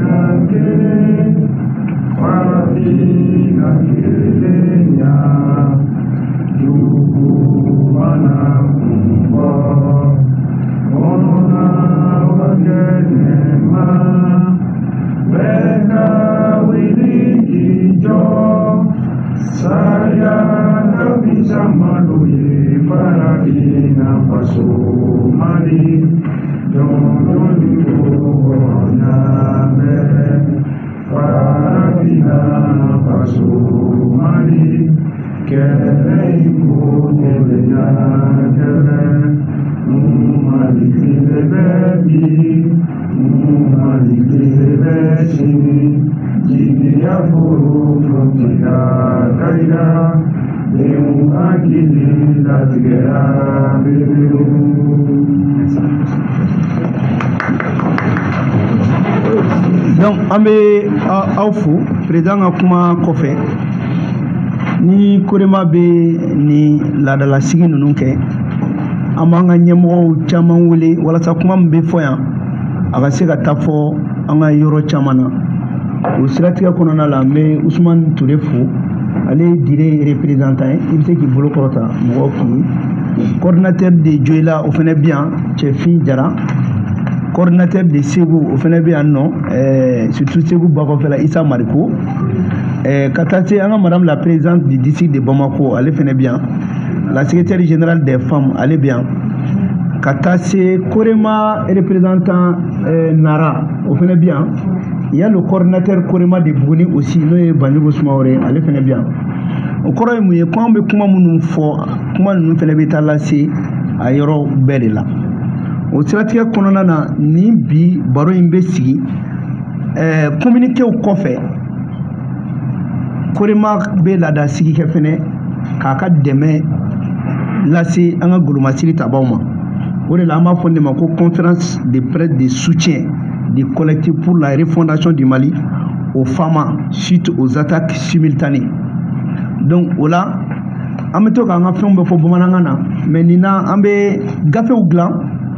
an ye mun sɛbɛn nanzarakan na an bɛ tila k'a bakuruba bakuruba tɔmɔ eh, bamanankan na o siratigɛ kɔnɔna na an ka bi conférence de presse an bɛ a tɔgɔkan fɔlɔ fɔ ka sɔrɔ k'a fɔ bamanankan na donc conférence de presse de soutien du Corema aux forces armées et de sécurité du Mali suite aux attaques simultanées. O la baara bɛ taa taabolo damadɔ kan n'an bɛna nin kuma ninnu fɔ kɔrɔlen mɔgɔw bɛna conférence de presse kɛ dɔrɔn ka kuma bɛɛ fara ɲɔgɔn kan ka taa eh, korema la an ka commission scientifique ka baara bolo la an bɛ kuma ko ninnu nana cogo di n'a bɛ f'o ma ko description des incidents anw yɛrɛ ka jate kɛra mun ye n'a bɛ f'o ma ko les analyses géopolitiques et géostratégiques o kɔnɔna na o analyse la bolo bɛ taa ɲɔri fɛn dɔ kan n'o ye minisuma ye o minisuma ko kuma da bɛ don o la son évolution et son budget menasi min yɛrɛ bɛ minisuma kan mali la ani gouvernement ye action minnu kɛ contre le renouvellement du contrat de la minisuma ani les actions que le gouvernement devait faire et qui n'ont pas été faites ani minisuma yɛrɛ échec minnu kɛ o bɛɛ kɔfɛ proposition jumɛn bɛ korema bolo pour que minisuma ka taa wa proposition jumɛn bɛ korema fɛnɛ bolo pour que jamana a ka se ka jɔ gɛri in kɔnɔna na donc an ka gafe in bɛ tali ko kan ce qui concerne la description des incidents les forces terroristes dans leur élan de désespoir ont entamé une série d'attaques simultanées dans les régions de Nara, Mopti et de Banjangara Le convoi du président de la transition, conduit par son chef de cabinet, paix à son âme, en destination de Nara, la zone aéroportière de Sévaré, la commune de Mouroudia dans la région de Nara et le village de Dourou dans la région de Banyanara ont été cibles de ces attaques.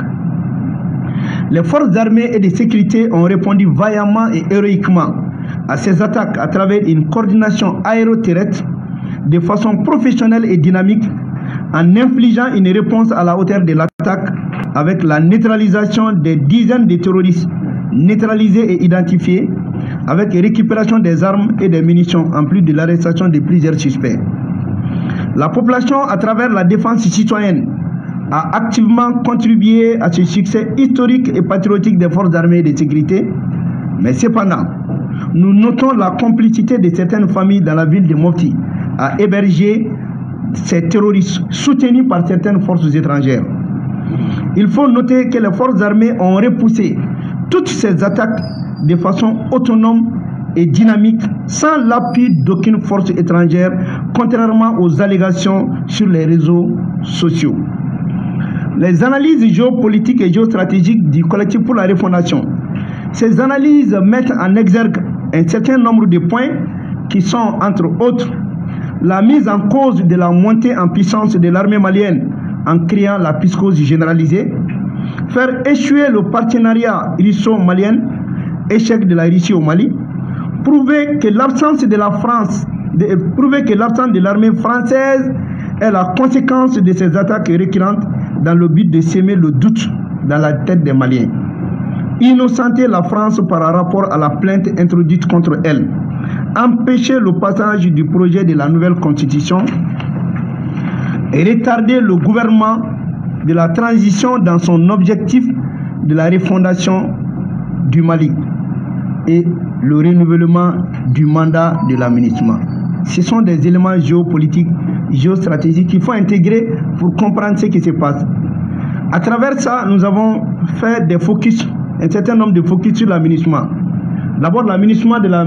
la mission de l'aménagement à travers la résolution 2100 évoquée par l'honorable Dr Foussène Ouattara, qui date du 25 avril 2013. Quelle était la mission assignée à la MINUSMA C'était de faciliter l'application de l'accord pour la paix et la réconciliation, renforcer l'autorité de l'État sur toute l'étendue du territoire et aussi au centre, protéger les civils, suivre la mise en œuvre de la feuille de route de la transition sous Dongda Traoré, faire des forages et des points d'addiction. L'évolution de la MINUSMA, c'est maintenir au Mali. La présence de la Souma est de garantir la sécurité auprès de la population. Malheureusement, on constate que la Souma elle-même a besoin d'être sécurisée. Elle n'a pas de mandat offensif de lutte contre le terrorisme ce qui prouve à suffisance que le journaliste qui a menti sur les réseaux sociaux, y a des forces étrangères qui ont contribué à l'offensive des forces armées est faux parce que cela ne fait pas partie du mandat de l'aménagement. Et deuxièmement, la sécurité de l'aménagement était assurée par les forces Barkhane et les forces Takuba qui étaient au nombre de 6200 soldats, dont 5300 pour la force Barkhane et 900 pour la force euh, Takuba le changement de partenariat au Mali. Le partenaire privilégié était la France. C'est la France, à travers l'acte juridique de, 2013, euh, a introduit l'opération Serval. Et au même moment, si vous imaginez, en avril 2013, entre 8 et 13 avril, la France est intervenue. Et le 25 avril, la résolution est intervenue au Mali, la résolution 2100. Donc vous voyez que cette résolution était axé, basé d'abord sur la présence des forces françaises au Mali. Donc si ces forces françaises ne sont plus là, c'est clair et net que euh, l'aménagement aura dans, dans des problèmes. Et aussi,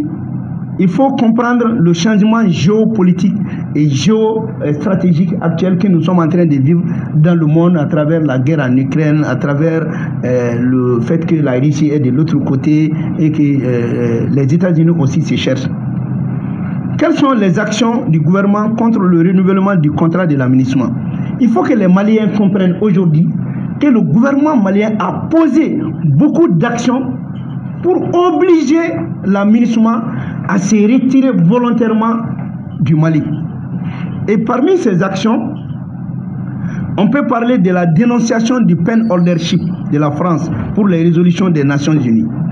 c'est la France qui était le porteur de plumes du Mali. Et à partir du moment où le porteur de plumes n'existe pas, il faut chercher d'autres pour être porteur des plumes. Et donc cette dénonciation est un élément important pour la ministre même de se retirer d'elle-même. Deuxièmement, il y a eu le changement de partenaire stratégique. La France, dont la présence était là au Mali à travers l'acte juridique du traité Serval, de 2013, à partir du moment où l'armée française n'existe plus, mais ministre devait aller d'elle-même, parce que sa sécurité ne peut pas être assurée par l'armée russe qui a été contestée par la France et ses euh, acolytes. Ensuite, le gouvernement a refusé à l'aménagement l'autorisation de patrouiller dans certaines localités du centre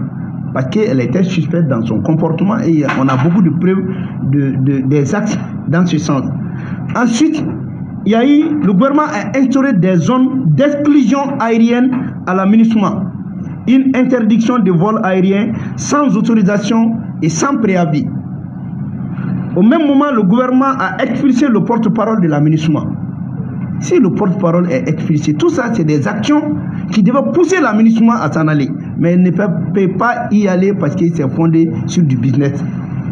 Ensuite, la plainte du Mali contre la France pour son soutien au terrorisme, sachant bien que la majeure partie des éléments de l'aménagement sont aussi de la France. Donc, cette plainte du Mali ne peut pas être analysée parce que l'analyse de la plainte du Mali contre la France va aboutir à la complicité de l'aménagement. Voilà pourquoi on bloque l'analyse, la discussion autour de cette plainte parce qu'en eh, en définitive, il y aura l'aménagement derrière aussi ce soutien au terrorisme. Ensuite, L'expulsion de l'ambassadeur de la France, en mettant fin à la diplomatie entre le Mali et la France, normalement on devait mettre fin à tout, y compris l'existence de l'aménagement. Et l'expulsion aussi des journalistes français, l'interdiction d'un avion cargo allemand de Takuba de survoler le territoire malien, l'expulsion du contingent danois qui avait été euh, dicté par la France, le retrait du Mali du G5 Sahel sont toutes des actions importantes euh, pour montrer la volonté de se retirer de, de l'aménagement. Parce que ce que les gens ne comprennent pas, le retrait du Mali du G5 Sahel est la preuve concrète que le Mali est prêt à assurer la sécurité de l'ensemble du peuple malien, prononcé par le ministre de la Défense Sadio Kamara et aussi le général Oumar Djara, en disant que le Mali n'a plus besoin d'être soumise sous le chapitre 7 des Nations Unies. Parce que le chapitre 7 est une mise sous tutelle d'un pays. À partir du moment où l'armée a la faculté de recouvrir l'intégrité du territoire, mais pourquoi une autre force va exister Ensuite, la suspension immédiate de toutes les rotations militaires et policières de l'aménagement, y compris celles déjà programmées ou annoncées lors de l'arrestation des 49 mercenaires ivoiriens. Et également le refus d'autoriser la Bundeswehr de, de l'Allemagne a effectué un vol devant acheminer dans le nord du Mali une solide unité d'infanterie de montagne pour protéger l'aéroport de Gao, dont la sécurisation incombait auparavant à la force Barkhane. Et enfin, le refus de protéger la section des droits de l'homme de l'aménagement. Voilà ces quelques actions qui ont été posées par le gouvernement que beaucoup de gens n'ont pas intégrées dans leur analyse. Mais il y avait des actions que le gouvernement aussi pouvait poser davantage qui sont entre autres le refus des autorités de la transition de donner aux pays qui ont été inamicaux envers le Mali en exigeant le retrait de leur contingent de l'aménagement. Le Mali pouvait exiger cela. Et ensuite, le Mali pouvait également porter plainte contre l'aménagement pour son non-assistance au danger de mort de la population conformément à son mandat et sa complicité dans le retard de la mise en œuvre de l'accord pour la paix et la réconciliation. L'honorable docteur Fuseni Ouattara l'a dit. Il y a eu Ogosagou, il y a eu Sobanda, il y a eu Kolongo. La ministre était là, elle avait un mandat de protéger la population. Mais elle a été, elle n'a même pas apporté son assistance au danger de cette population. Mais seulement elle se permet de condamner le Mali lorsqu'on a des victoires sur des zones telles que Moura. Alors, partant de cela, le couramment a aussi des propositions à faire dans ce contexte. Parce qu'il est important d'intégrer toutes ces analyses. Euh, il faut interdire d'agir comme ça. À travers toutes ces analyses, le Corima a formulé des propositions. Ces propositions sont entre autres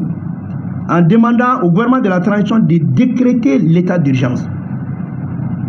En décrétant l'état d'urgence aujourd'hui, ça peut nous permettre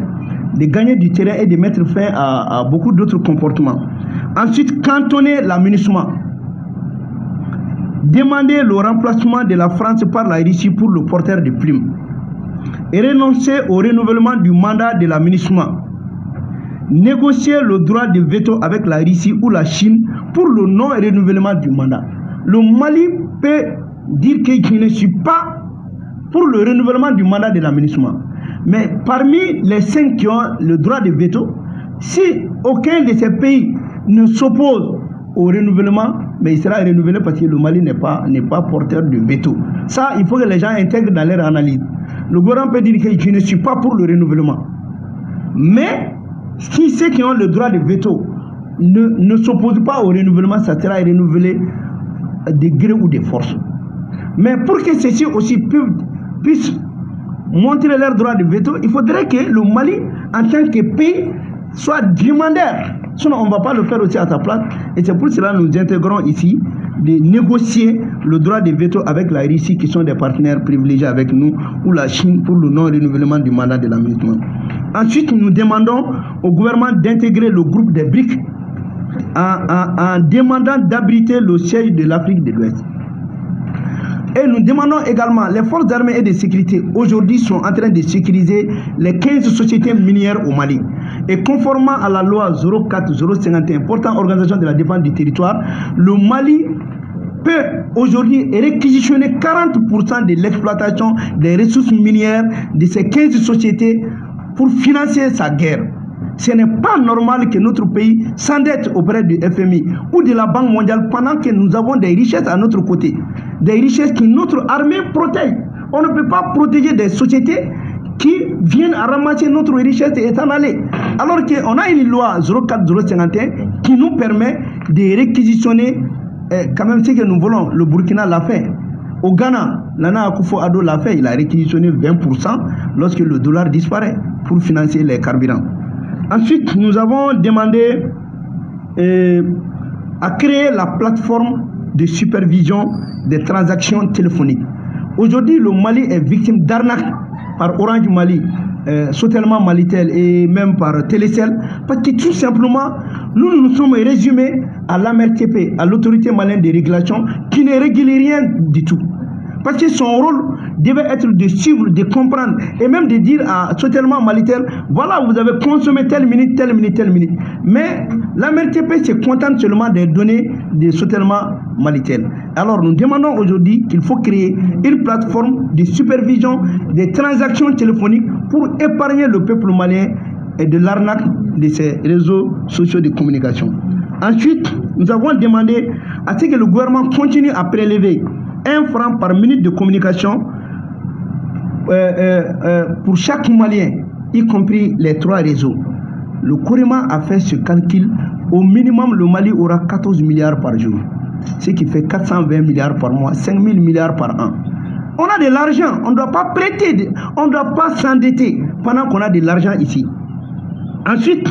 nous avons demandé, pour financer toujours la guerre au Mali, de prélever 10 francs par litre de carburant comme on le fait avec l'entretien routier, de mettre cet argent à côté. Le financement de la guerre au Mali aujourd'hui ne doit pas être lié à une question de budget de l'État. Ça doit être lié à une question de fonds qui existe et qui permet l'entretien et qui permet de, euh, défendre euh, de, nous, de nous défendre. Ensuite, nous avons demandé à ce que le gouvernement, conformément aux difficultés que nous avons et parce que nous sommes en guerre, d'ajouter un dollar sur chaque billet d'avion qui va aussi être, servir de fond pour essayer euh, de, me défendre pour la guerre. Et vous constatez avec nous qu'au Mali, il n'y a pas la taxe sur les terres bâties et non bâties. Et donc, le gouvernement demande l'introduction de la taxe sur les terres bâties et les terres non bâties. Et en dernier lieu, nous exigeons sur le fait que toute société étrangère ou malienne qui existe au Mali on doit l'exiger non seulement d'inscrire ses partenaires à l'INPS, donc il va payer l'impôt, il va payer l'ITS, il va payer TVA. Aujourd'hui, on a des centaines d'entreprises fictives qui existent au Mali qui ne donnent ni rien, ni à l'INPS, ni à l'impôt. C'est des manques à gagner. Donc, au niveau du Coréma, nous, nous pensons que le mari n'a pas besoin de s'endetter. On a de l'argent ici et on peut faire en sorte que ces richesses-là puissent nous faire profiter. Voilà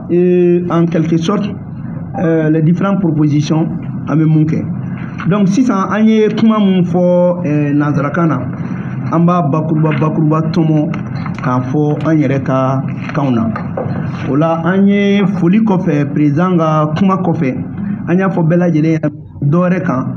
eh, korema ye jɛkulu ye jɛkulu min ko ko mali kura mali kura t'i sɔrɔ ni jamanaden bɛɛ ma i cɛsiri jamanako la o kun kɔnɔna la bɛɛ ye kominike caman ye ka dɛmɛ kɛ ka taa se an ka eh, golomasiri tabaw ma an ko n ko kominike kɔfɛ anw bɛ lajɛrɛ kɛ ka ɲɛfɔli kɛ sabula diɲɛ bɛ yɔrɔ min na sisan jamanaden lafaamuyalen o de bɛ se ka ko ɲɛnabɔ a yɛrɛ mɛ jamanaden min ma lafaamuya ni kunnafoni jɛlen a ka gɛlɛn hali ka se ka wuli k'i yɛrɛ ɲiyɔrɔ kɛlɛ kɛ o kɔnɔna la an ko ko bi wula in na sigi a kɛrɛnkɛrɛnnen bɛ ka bɛn k'an ka dɛmɛ lase mali ma an'an ka arime ma kɛrɛnkɛrɛnnenya la o la an ka nin sigi an y'a boloda boloda damadɔ ye an bɛ kuma waleya min bɛ ka kɛ mali la nin wagati in na ani anw yɛrɛ ka jate ye jumɛn ye an ye faamuyali jumɛn kɛ nin ko bɛɛ lajɛlen na ani minisuma min bɛ anw fɛ yan mali kɔnɔna na minisuma jɔyɔrɔ kɛra jumɛn ye gouvernement yɛrɛ ye wale jumɛn kɛ walasa minisuma bɛ se ka gɛn gouvernement tun ka kan ka mun kɛ n'o fana ma kɛ o kɔfɛ anw yɛrɛ bɛ mun de laɲini fɔ gouvernement ye ani minisuma a bɛ se ka gɛn ka bɔ mali la cogo jumɛn an ka kuma bolila o de kan o la an y'a perepela tigɛ k'a fɔ bɛɛ ɲɛna nin wagati laban in na n'i ye kow jateminɛ a bɛ kɛ i n'a fɔ ko filimu dɔ de bɛ ka bɔ ɛɛ wagati min na an bɛɛ sigilen bɛ perezan ka kɔnfa min kan ka taa nara u y'u ɲɛsin o ma an bɛ b'o la yɔrɔnin kelen sebare ta kɛra k'u bɛ taa arepɔri minɛ an b'o la murujata fɛnɛ o kɛra ɔ avion dɔ fɛnɛ binna o kɔfɛ fo ka taa lase fɛn caman ma donc an ye jateminɛ jumɛn kɛ n'i ye nin bɛɛ jateminɛ nin ye kow de ye ko minnu n'i bɛ se k'u bila filimu kɔnɔna de la filimu mɔdɛli jumɛn don ka maliyɛnw jatigɛ ka sigasiga don u dusukun na u k'a fɔ ko ja ko minɛnba min donna arime la ko ja ko tiɲɛ tɛ mɛ an bɛ min fɔ maaw ɲɛna dɔrɔn n'i ye jugu ye nin na o b'a sɔrɔ jatigɛ yɛrɛ fanga bonyana ale fanga kojugu ni jugu dɛsɛra ni jatigɛ fanga bonyana kan ale yɛrɛ bɛ jatigɛ wale dɔ de kɛ min b'a jira donc u ye nin waleya min kɛ dɛsɛ waleya de ye nin ye mɛ ni maaw m'a faamuya dɔw bɛ tin ka bila kun ee kora ko juguyatɔ tɛ nin o de kama min nafa ka bon nin bɛɛ la u ye nin waleya jugu fɛn fɛn kɛ an kɛra k'u dɛrɛ fo ka a ji bɔ fo k'a mɔnɛ bɔ an yɛrɛ la u bɛ sɔrɔ an ka mun fɛ an ka golomasiri tabaw ye wulikajɔ ba minnu kɛ n'i ye jateminɛ kɛ nin kuma na i bɛna ye k'a fɔ ɛɛ ninnu ka waleya kun ye mun ye a kun ye dɔrɔn ka dankari kɛ mali yɛrɛ ka taabolo la mɛ ala nana kɛ nin kɔnɔna na armée ye baara dɔ kɛ nin na aw tɛ se k'a faamuya mɛ an y'a yira mɔgɔw la armée ye baara kɛ mɛ population fana ye armée dɛmɛ nin baara in na kosɛbɛ mɛ population y'a dɛmɛ o ye tiɲɛ ye mɛ mɔbiti ka population u ye dɛmɛni kɛ mɛ dɔw de fɛnɛ tun bɛ maa jugu ninnu don u ka so kɔnɔ a dɔw bɛ dutigi dɔw ka nasɔngɔ bɔ n'a fɔra kun dɔw den de bɛ ka sa sirasiw bɛ ka sa aw bɛ ala minɛ ka terorisi ladon i ka so a b'i ka nasɔngɔ bɔ i b'o ladon jama cɛla ye o fana o fana kɛra ko ye kun min n'an b'o o da bɛɛ lajɛlen tulo kan an y'a yira k'a fɔ nin wulikajɔ in senfɛ a kɛra banbaganciw ka ɲɛkumu de kan tiɲɛ don perezan ka eh, chef de cabinet o ni tora la an b'a ɲini ala fɛ ani maa ma ni tora la ala ka ɲinɛ u bɛɛ lajɛlen na mɛ n b'aw hakili lajigin ko dɔ la ni nin kɛra ka mɔgɔ min dabali ban ameriki pentagone u ka jugu ni nin ye dɛ sécurité min b'olu bolo olu tɛ mɔgɔ si bolo isaac karabin premier ministre israélien yɔrɔ mɔgɔ t'a fɔ israélien olu fɔlen don renseignement na dɛ mais u ma faga ne ye jateminɛ fɛnɛ kɛ bataclan min kɛra faransi maa joli fagara a maa ba yirika caman et puis u ye ɛri joli k'a la u y'a daminɛ u ye a bɛ i n'a fɔ u ye tile fila de k'a la mais anw ta in danna ɛri damadɔ ataki kɛra miniti min na a la miniti segin kɛra kan nin an bɛ nin fɔ kun jumɛn na maa minnu tɛ ko kalama f'u b'a fɔ k'olu sigalen don siga wɛrɛ tɛ o nin ko caman de kɛra diɲɛ kɔnɔ wa hali kɛnɛya ta fɛnɛ ni ɲɔgɔnnaw kɛra diɲɛ kɔnɔ mɛ mun de ka gɛlɛn i nana e nana ni ataki o tɛ problème ye mɛ i ni de tɛ sigi wa sarasi y'o de fɔ aw bɛna ataki kɛ maa t'a bali mɛ aw ni tɛ sigi donc o de kama sisan pour que aw k'a dɔn ko terroriste yɛrɛ banna mɔpti mɔpti kɛlɛ la denmisɛnnin dɔ yera la min san bɛ taa san tan ni fila ka taa bila san tan ni saba la donc ni denmisɛnnin fitinin ye terroriste bɛ k'o utiliser o kɔrɔ ko duntulu banna gɛrɛ bɛ ka kɛ mun tulu la donc o kun kɔnɔna la an y'an bolo da o kan kosɛbɛ mɛ an bɛ min fɔ bɛɛ ɲɛna ka nɔgɔ b'o la o ye mɔgɔ k'a faamuya k'anw ka sarasiw ye nin bɛɛ kɛ u mɔgɔ ma jɔ maa si ka sarasiw la ka nin baara kɛ u mɔgɔ si ma jɔ mɔgɔ si la ka nin baara kɛ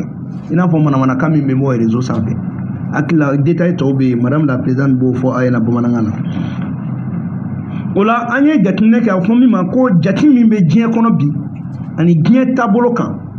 ko de m'a jateminɛ kɛ ko n'i ye nin bɛɛ lajɛ jate jate minnu bɛ yen nɔ o ye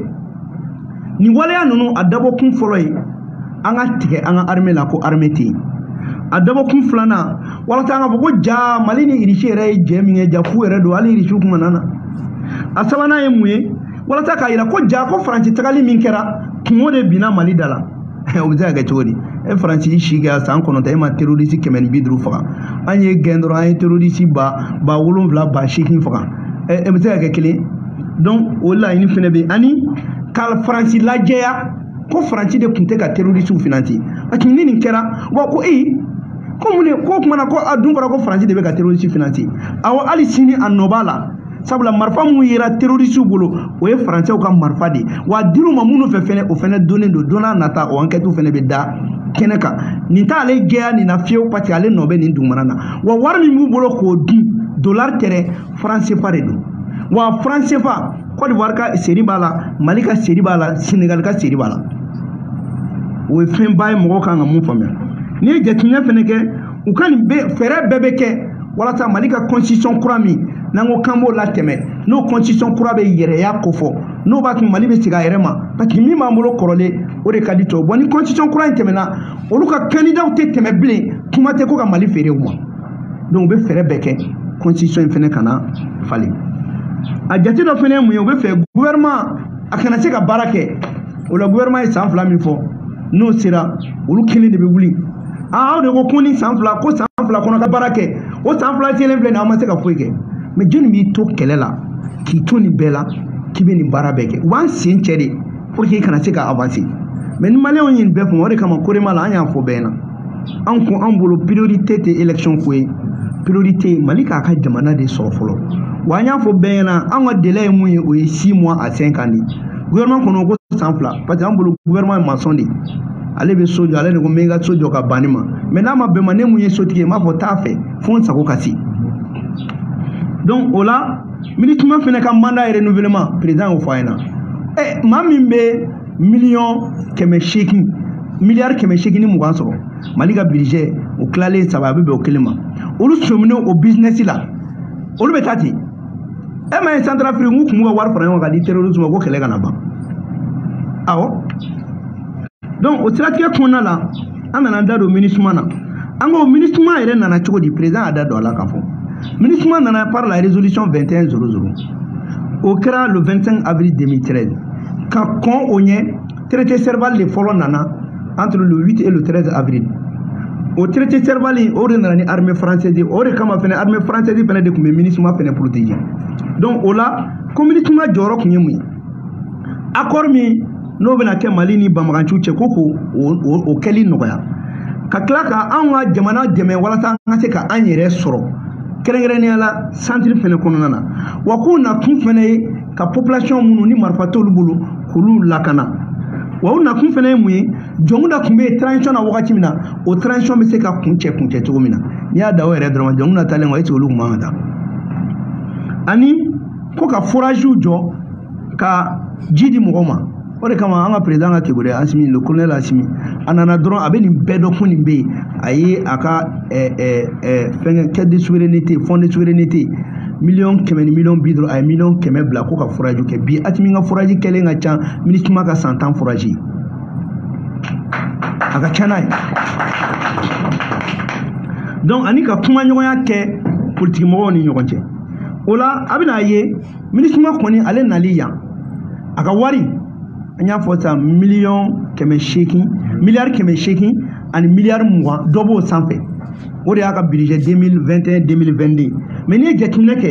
tuma min na u nana 2013 minisuma ka mɔgɔ tun bɛ maa ba kɛmɛ wɔɔrɔ la mɔgɔ min sara mali la a tun tɛ maa ba kelen bɔ an taara 2014 minisuma ka mɔgɔ taara maa kɛmɛ kɔnɔntɔn maa ba kɛmɛ kɔnɔntɔn ani eh, kɛmɛ saba la anw ka maa sata cayara ni ba kelen ye minituma ka mɔgɔw taara en 2015 maa ba kɔnɔntɔn kɛmɛ kɔnɔntɔn na ani kɛmɛ seegin bi seegin saba anw ka mɔgɔ min sara o ka ca maa ba kɛmɛ fila ye 2021 minisuma ka mɔgɔ taara maa ba tan duuru ni kɔ la o waati kelen na an ka mɔgɔ min sara o ka ca maa ba tan ye minisuma ka effectif kɛra ka taa maa ba tan ni wolonwula ni kɔ la an ka maa min sara o ka ca maa ba tan ni kelen donc dɔ bɛ fara olu ka kumu mɔgɔ kan an ka su bɛ cɛya donc olu nakun tɛ suko ye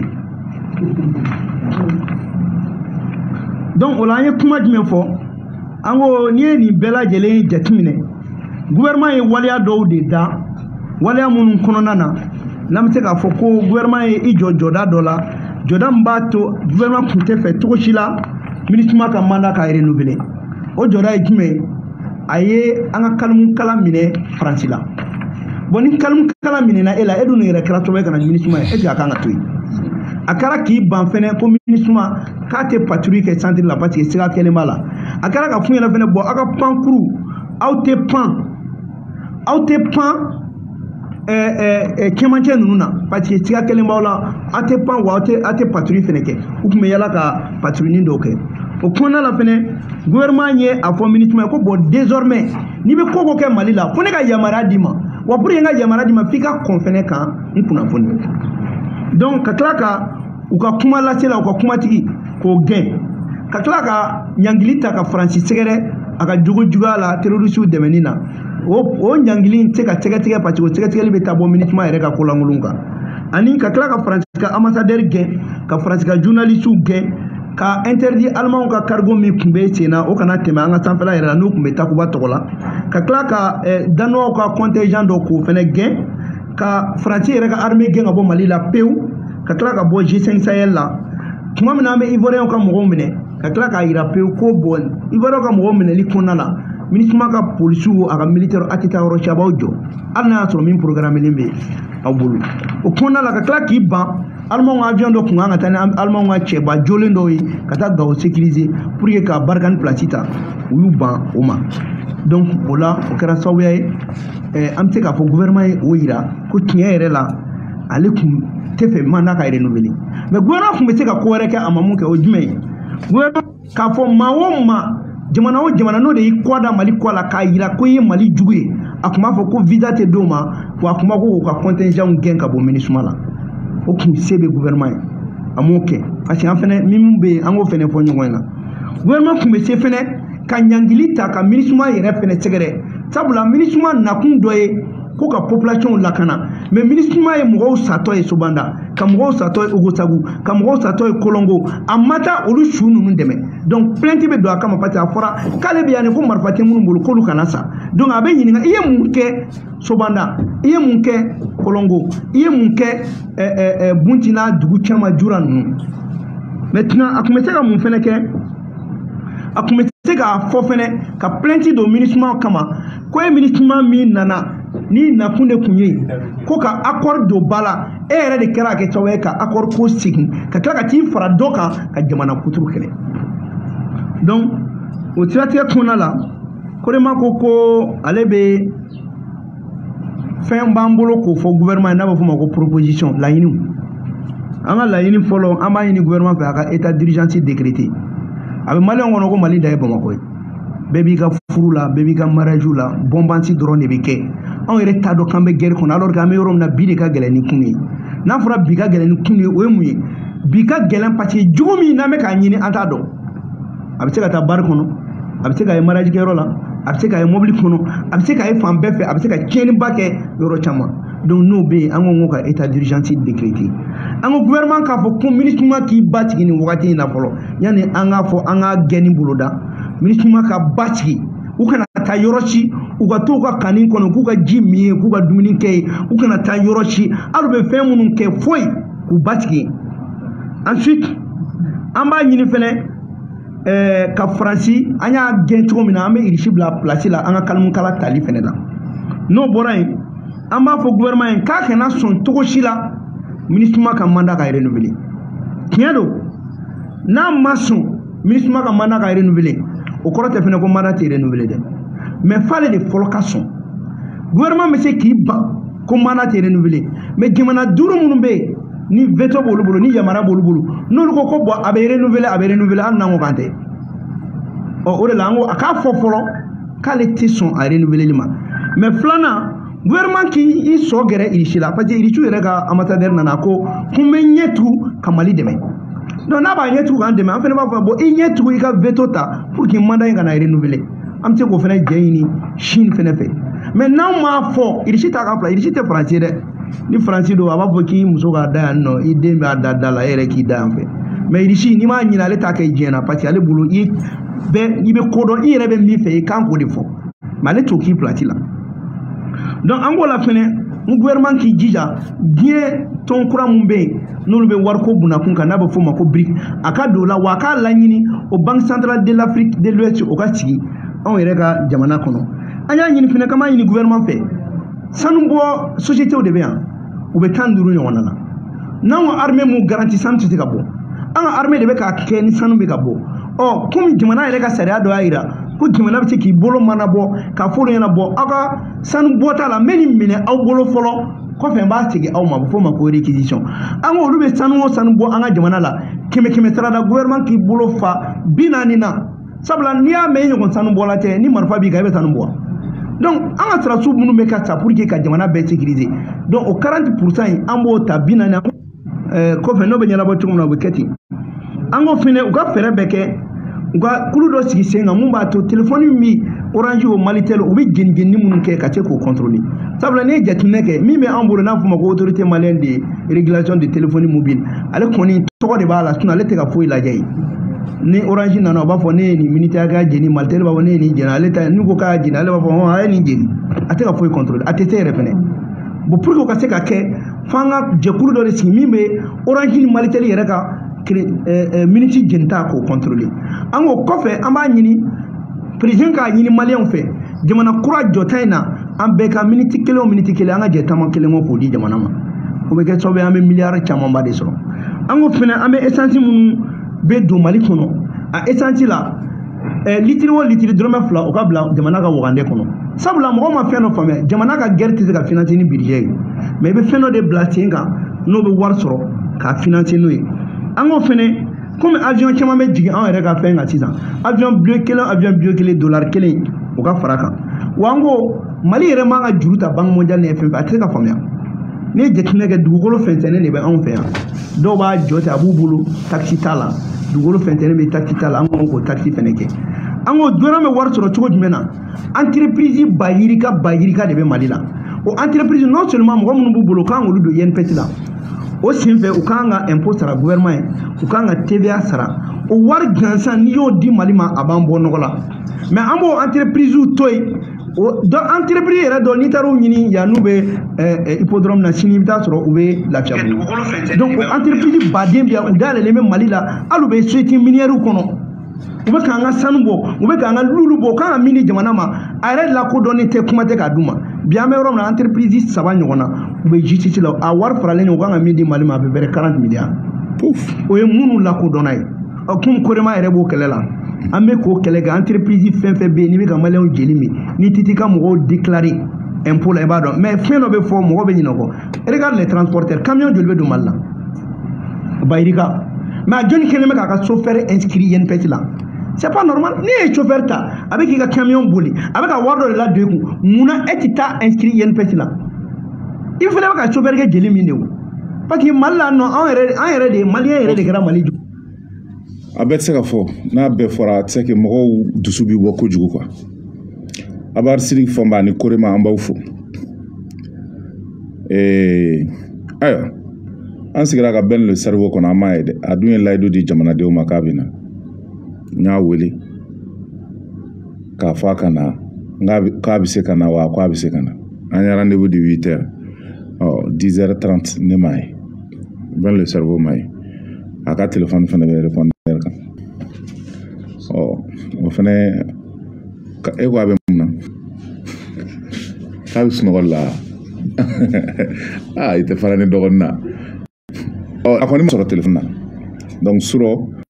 a 22 heures 23 heures n'a ye ɲɔgɔn sɔrɔ an kan ka fɛn dɔw kɛ ɲɔgɔn fɛ parce que il faut que nin ko in na an ka action effort conjuguer parce que an bɛɛ bɛ objectif kelen na fɛn ɲini tɛ quoi faso ko de don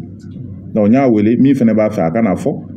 ani baara bɛ tɛmɛ cogo min na a ka n'o ɲɛfɔ ɔ peut-être an b'a bisigi k'a fɔ fɛn dɔ y'a bali ɔ an bɛ sigi ka a ka returu kɔnɔ ni kibaruya ye min ye a b'o d'a ma bɛɛ n'o sɛriwo an y'a wele kɔrɔ a ye layidu jamanadenw ma k'a fɔ a bɛ na nin kɛnɛ kan a bɛ na kuma jamanadenw fɛ mɛ a ma na dɛ a ma na a ma nabaliya kun fɔ an ye a ma mɔgɔ caman fana an bɛ k'a wele fana a ka nimoro tɛ ka don a bɛ repɔndɛri kan an b'a bisigi k'a fɔ ko dɔ y'a bali nka ni kibaruya kɛra min ye an b'o di lamɛnbaaw tulo ma waati yɛrɛ fɛnɛ ma labɔ komi aw b'a dɔn bawule dɔnkibaru sujɛ ka ca waati yɛrɛ ma hali ni tile kelen d'a ma tɛmu ti ban tile kelen k'a daminɛ sɔgɔma fɔ su fo ka si ala ka dugu jɛ an bɛ kuma an ti dɔ da dɔ kan an ye fɛn caman faamu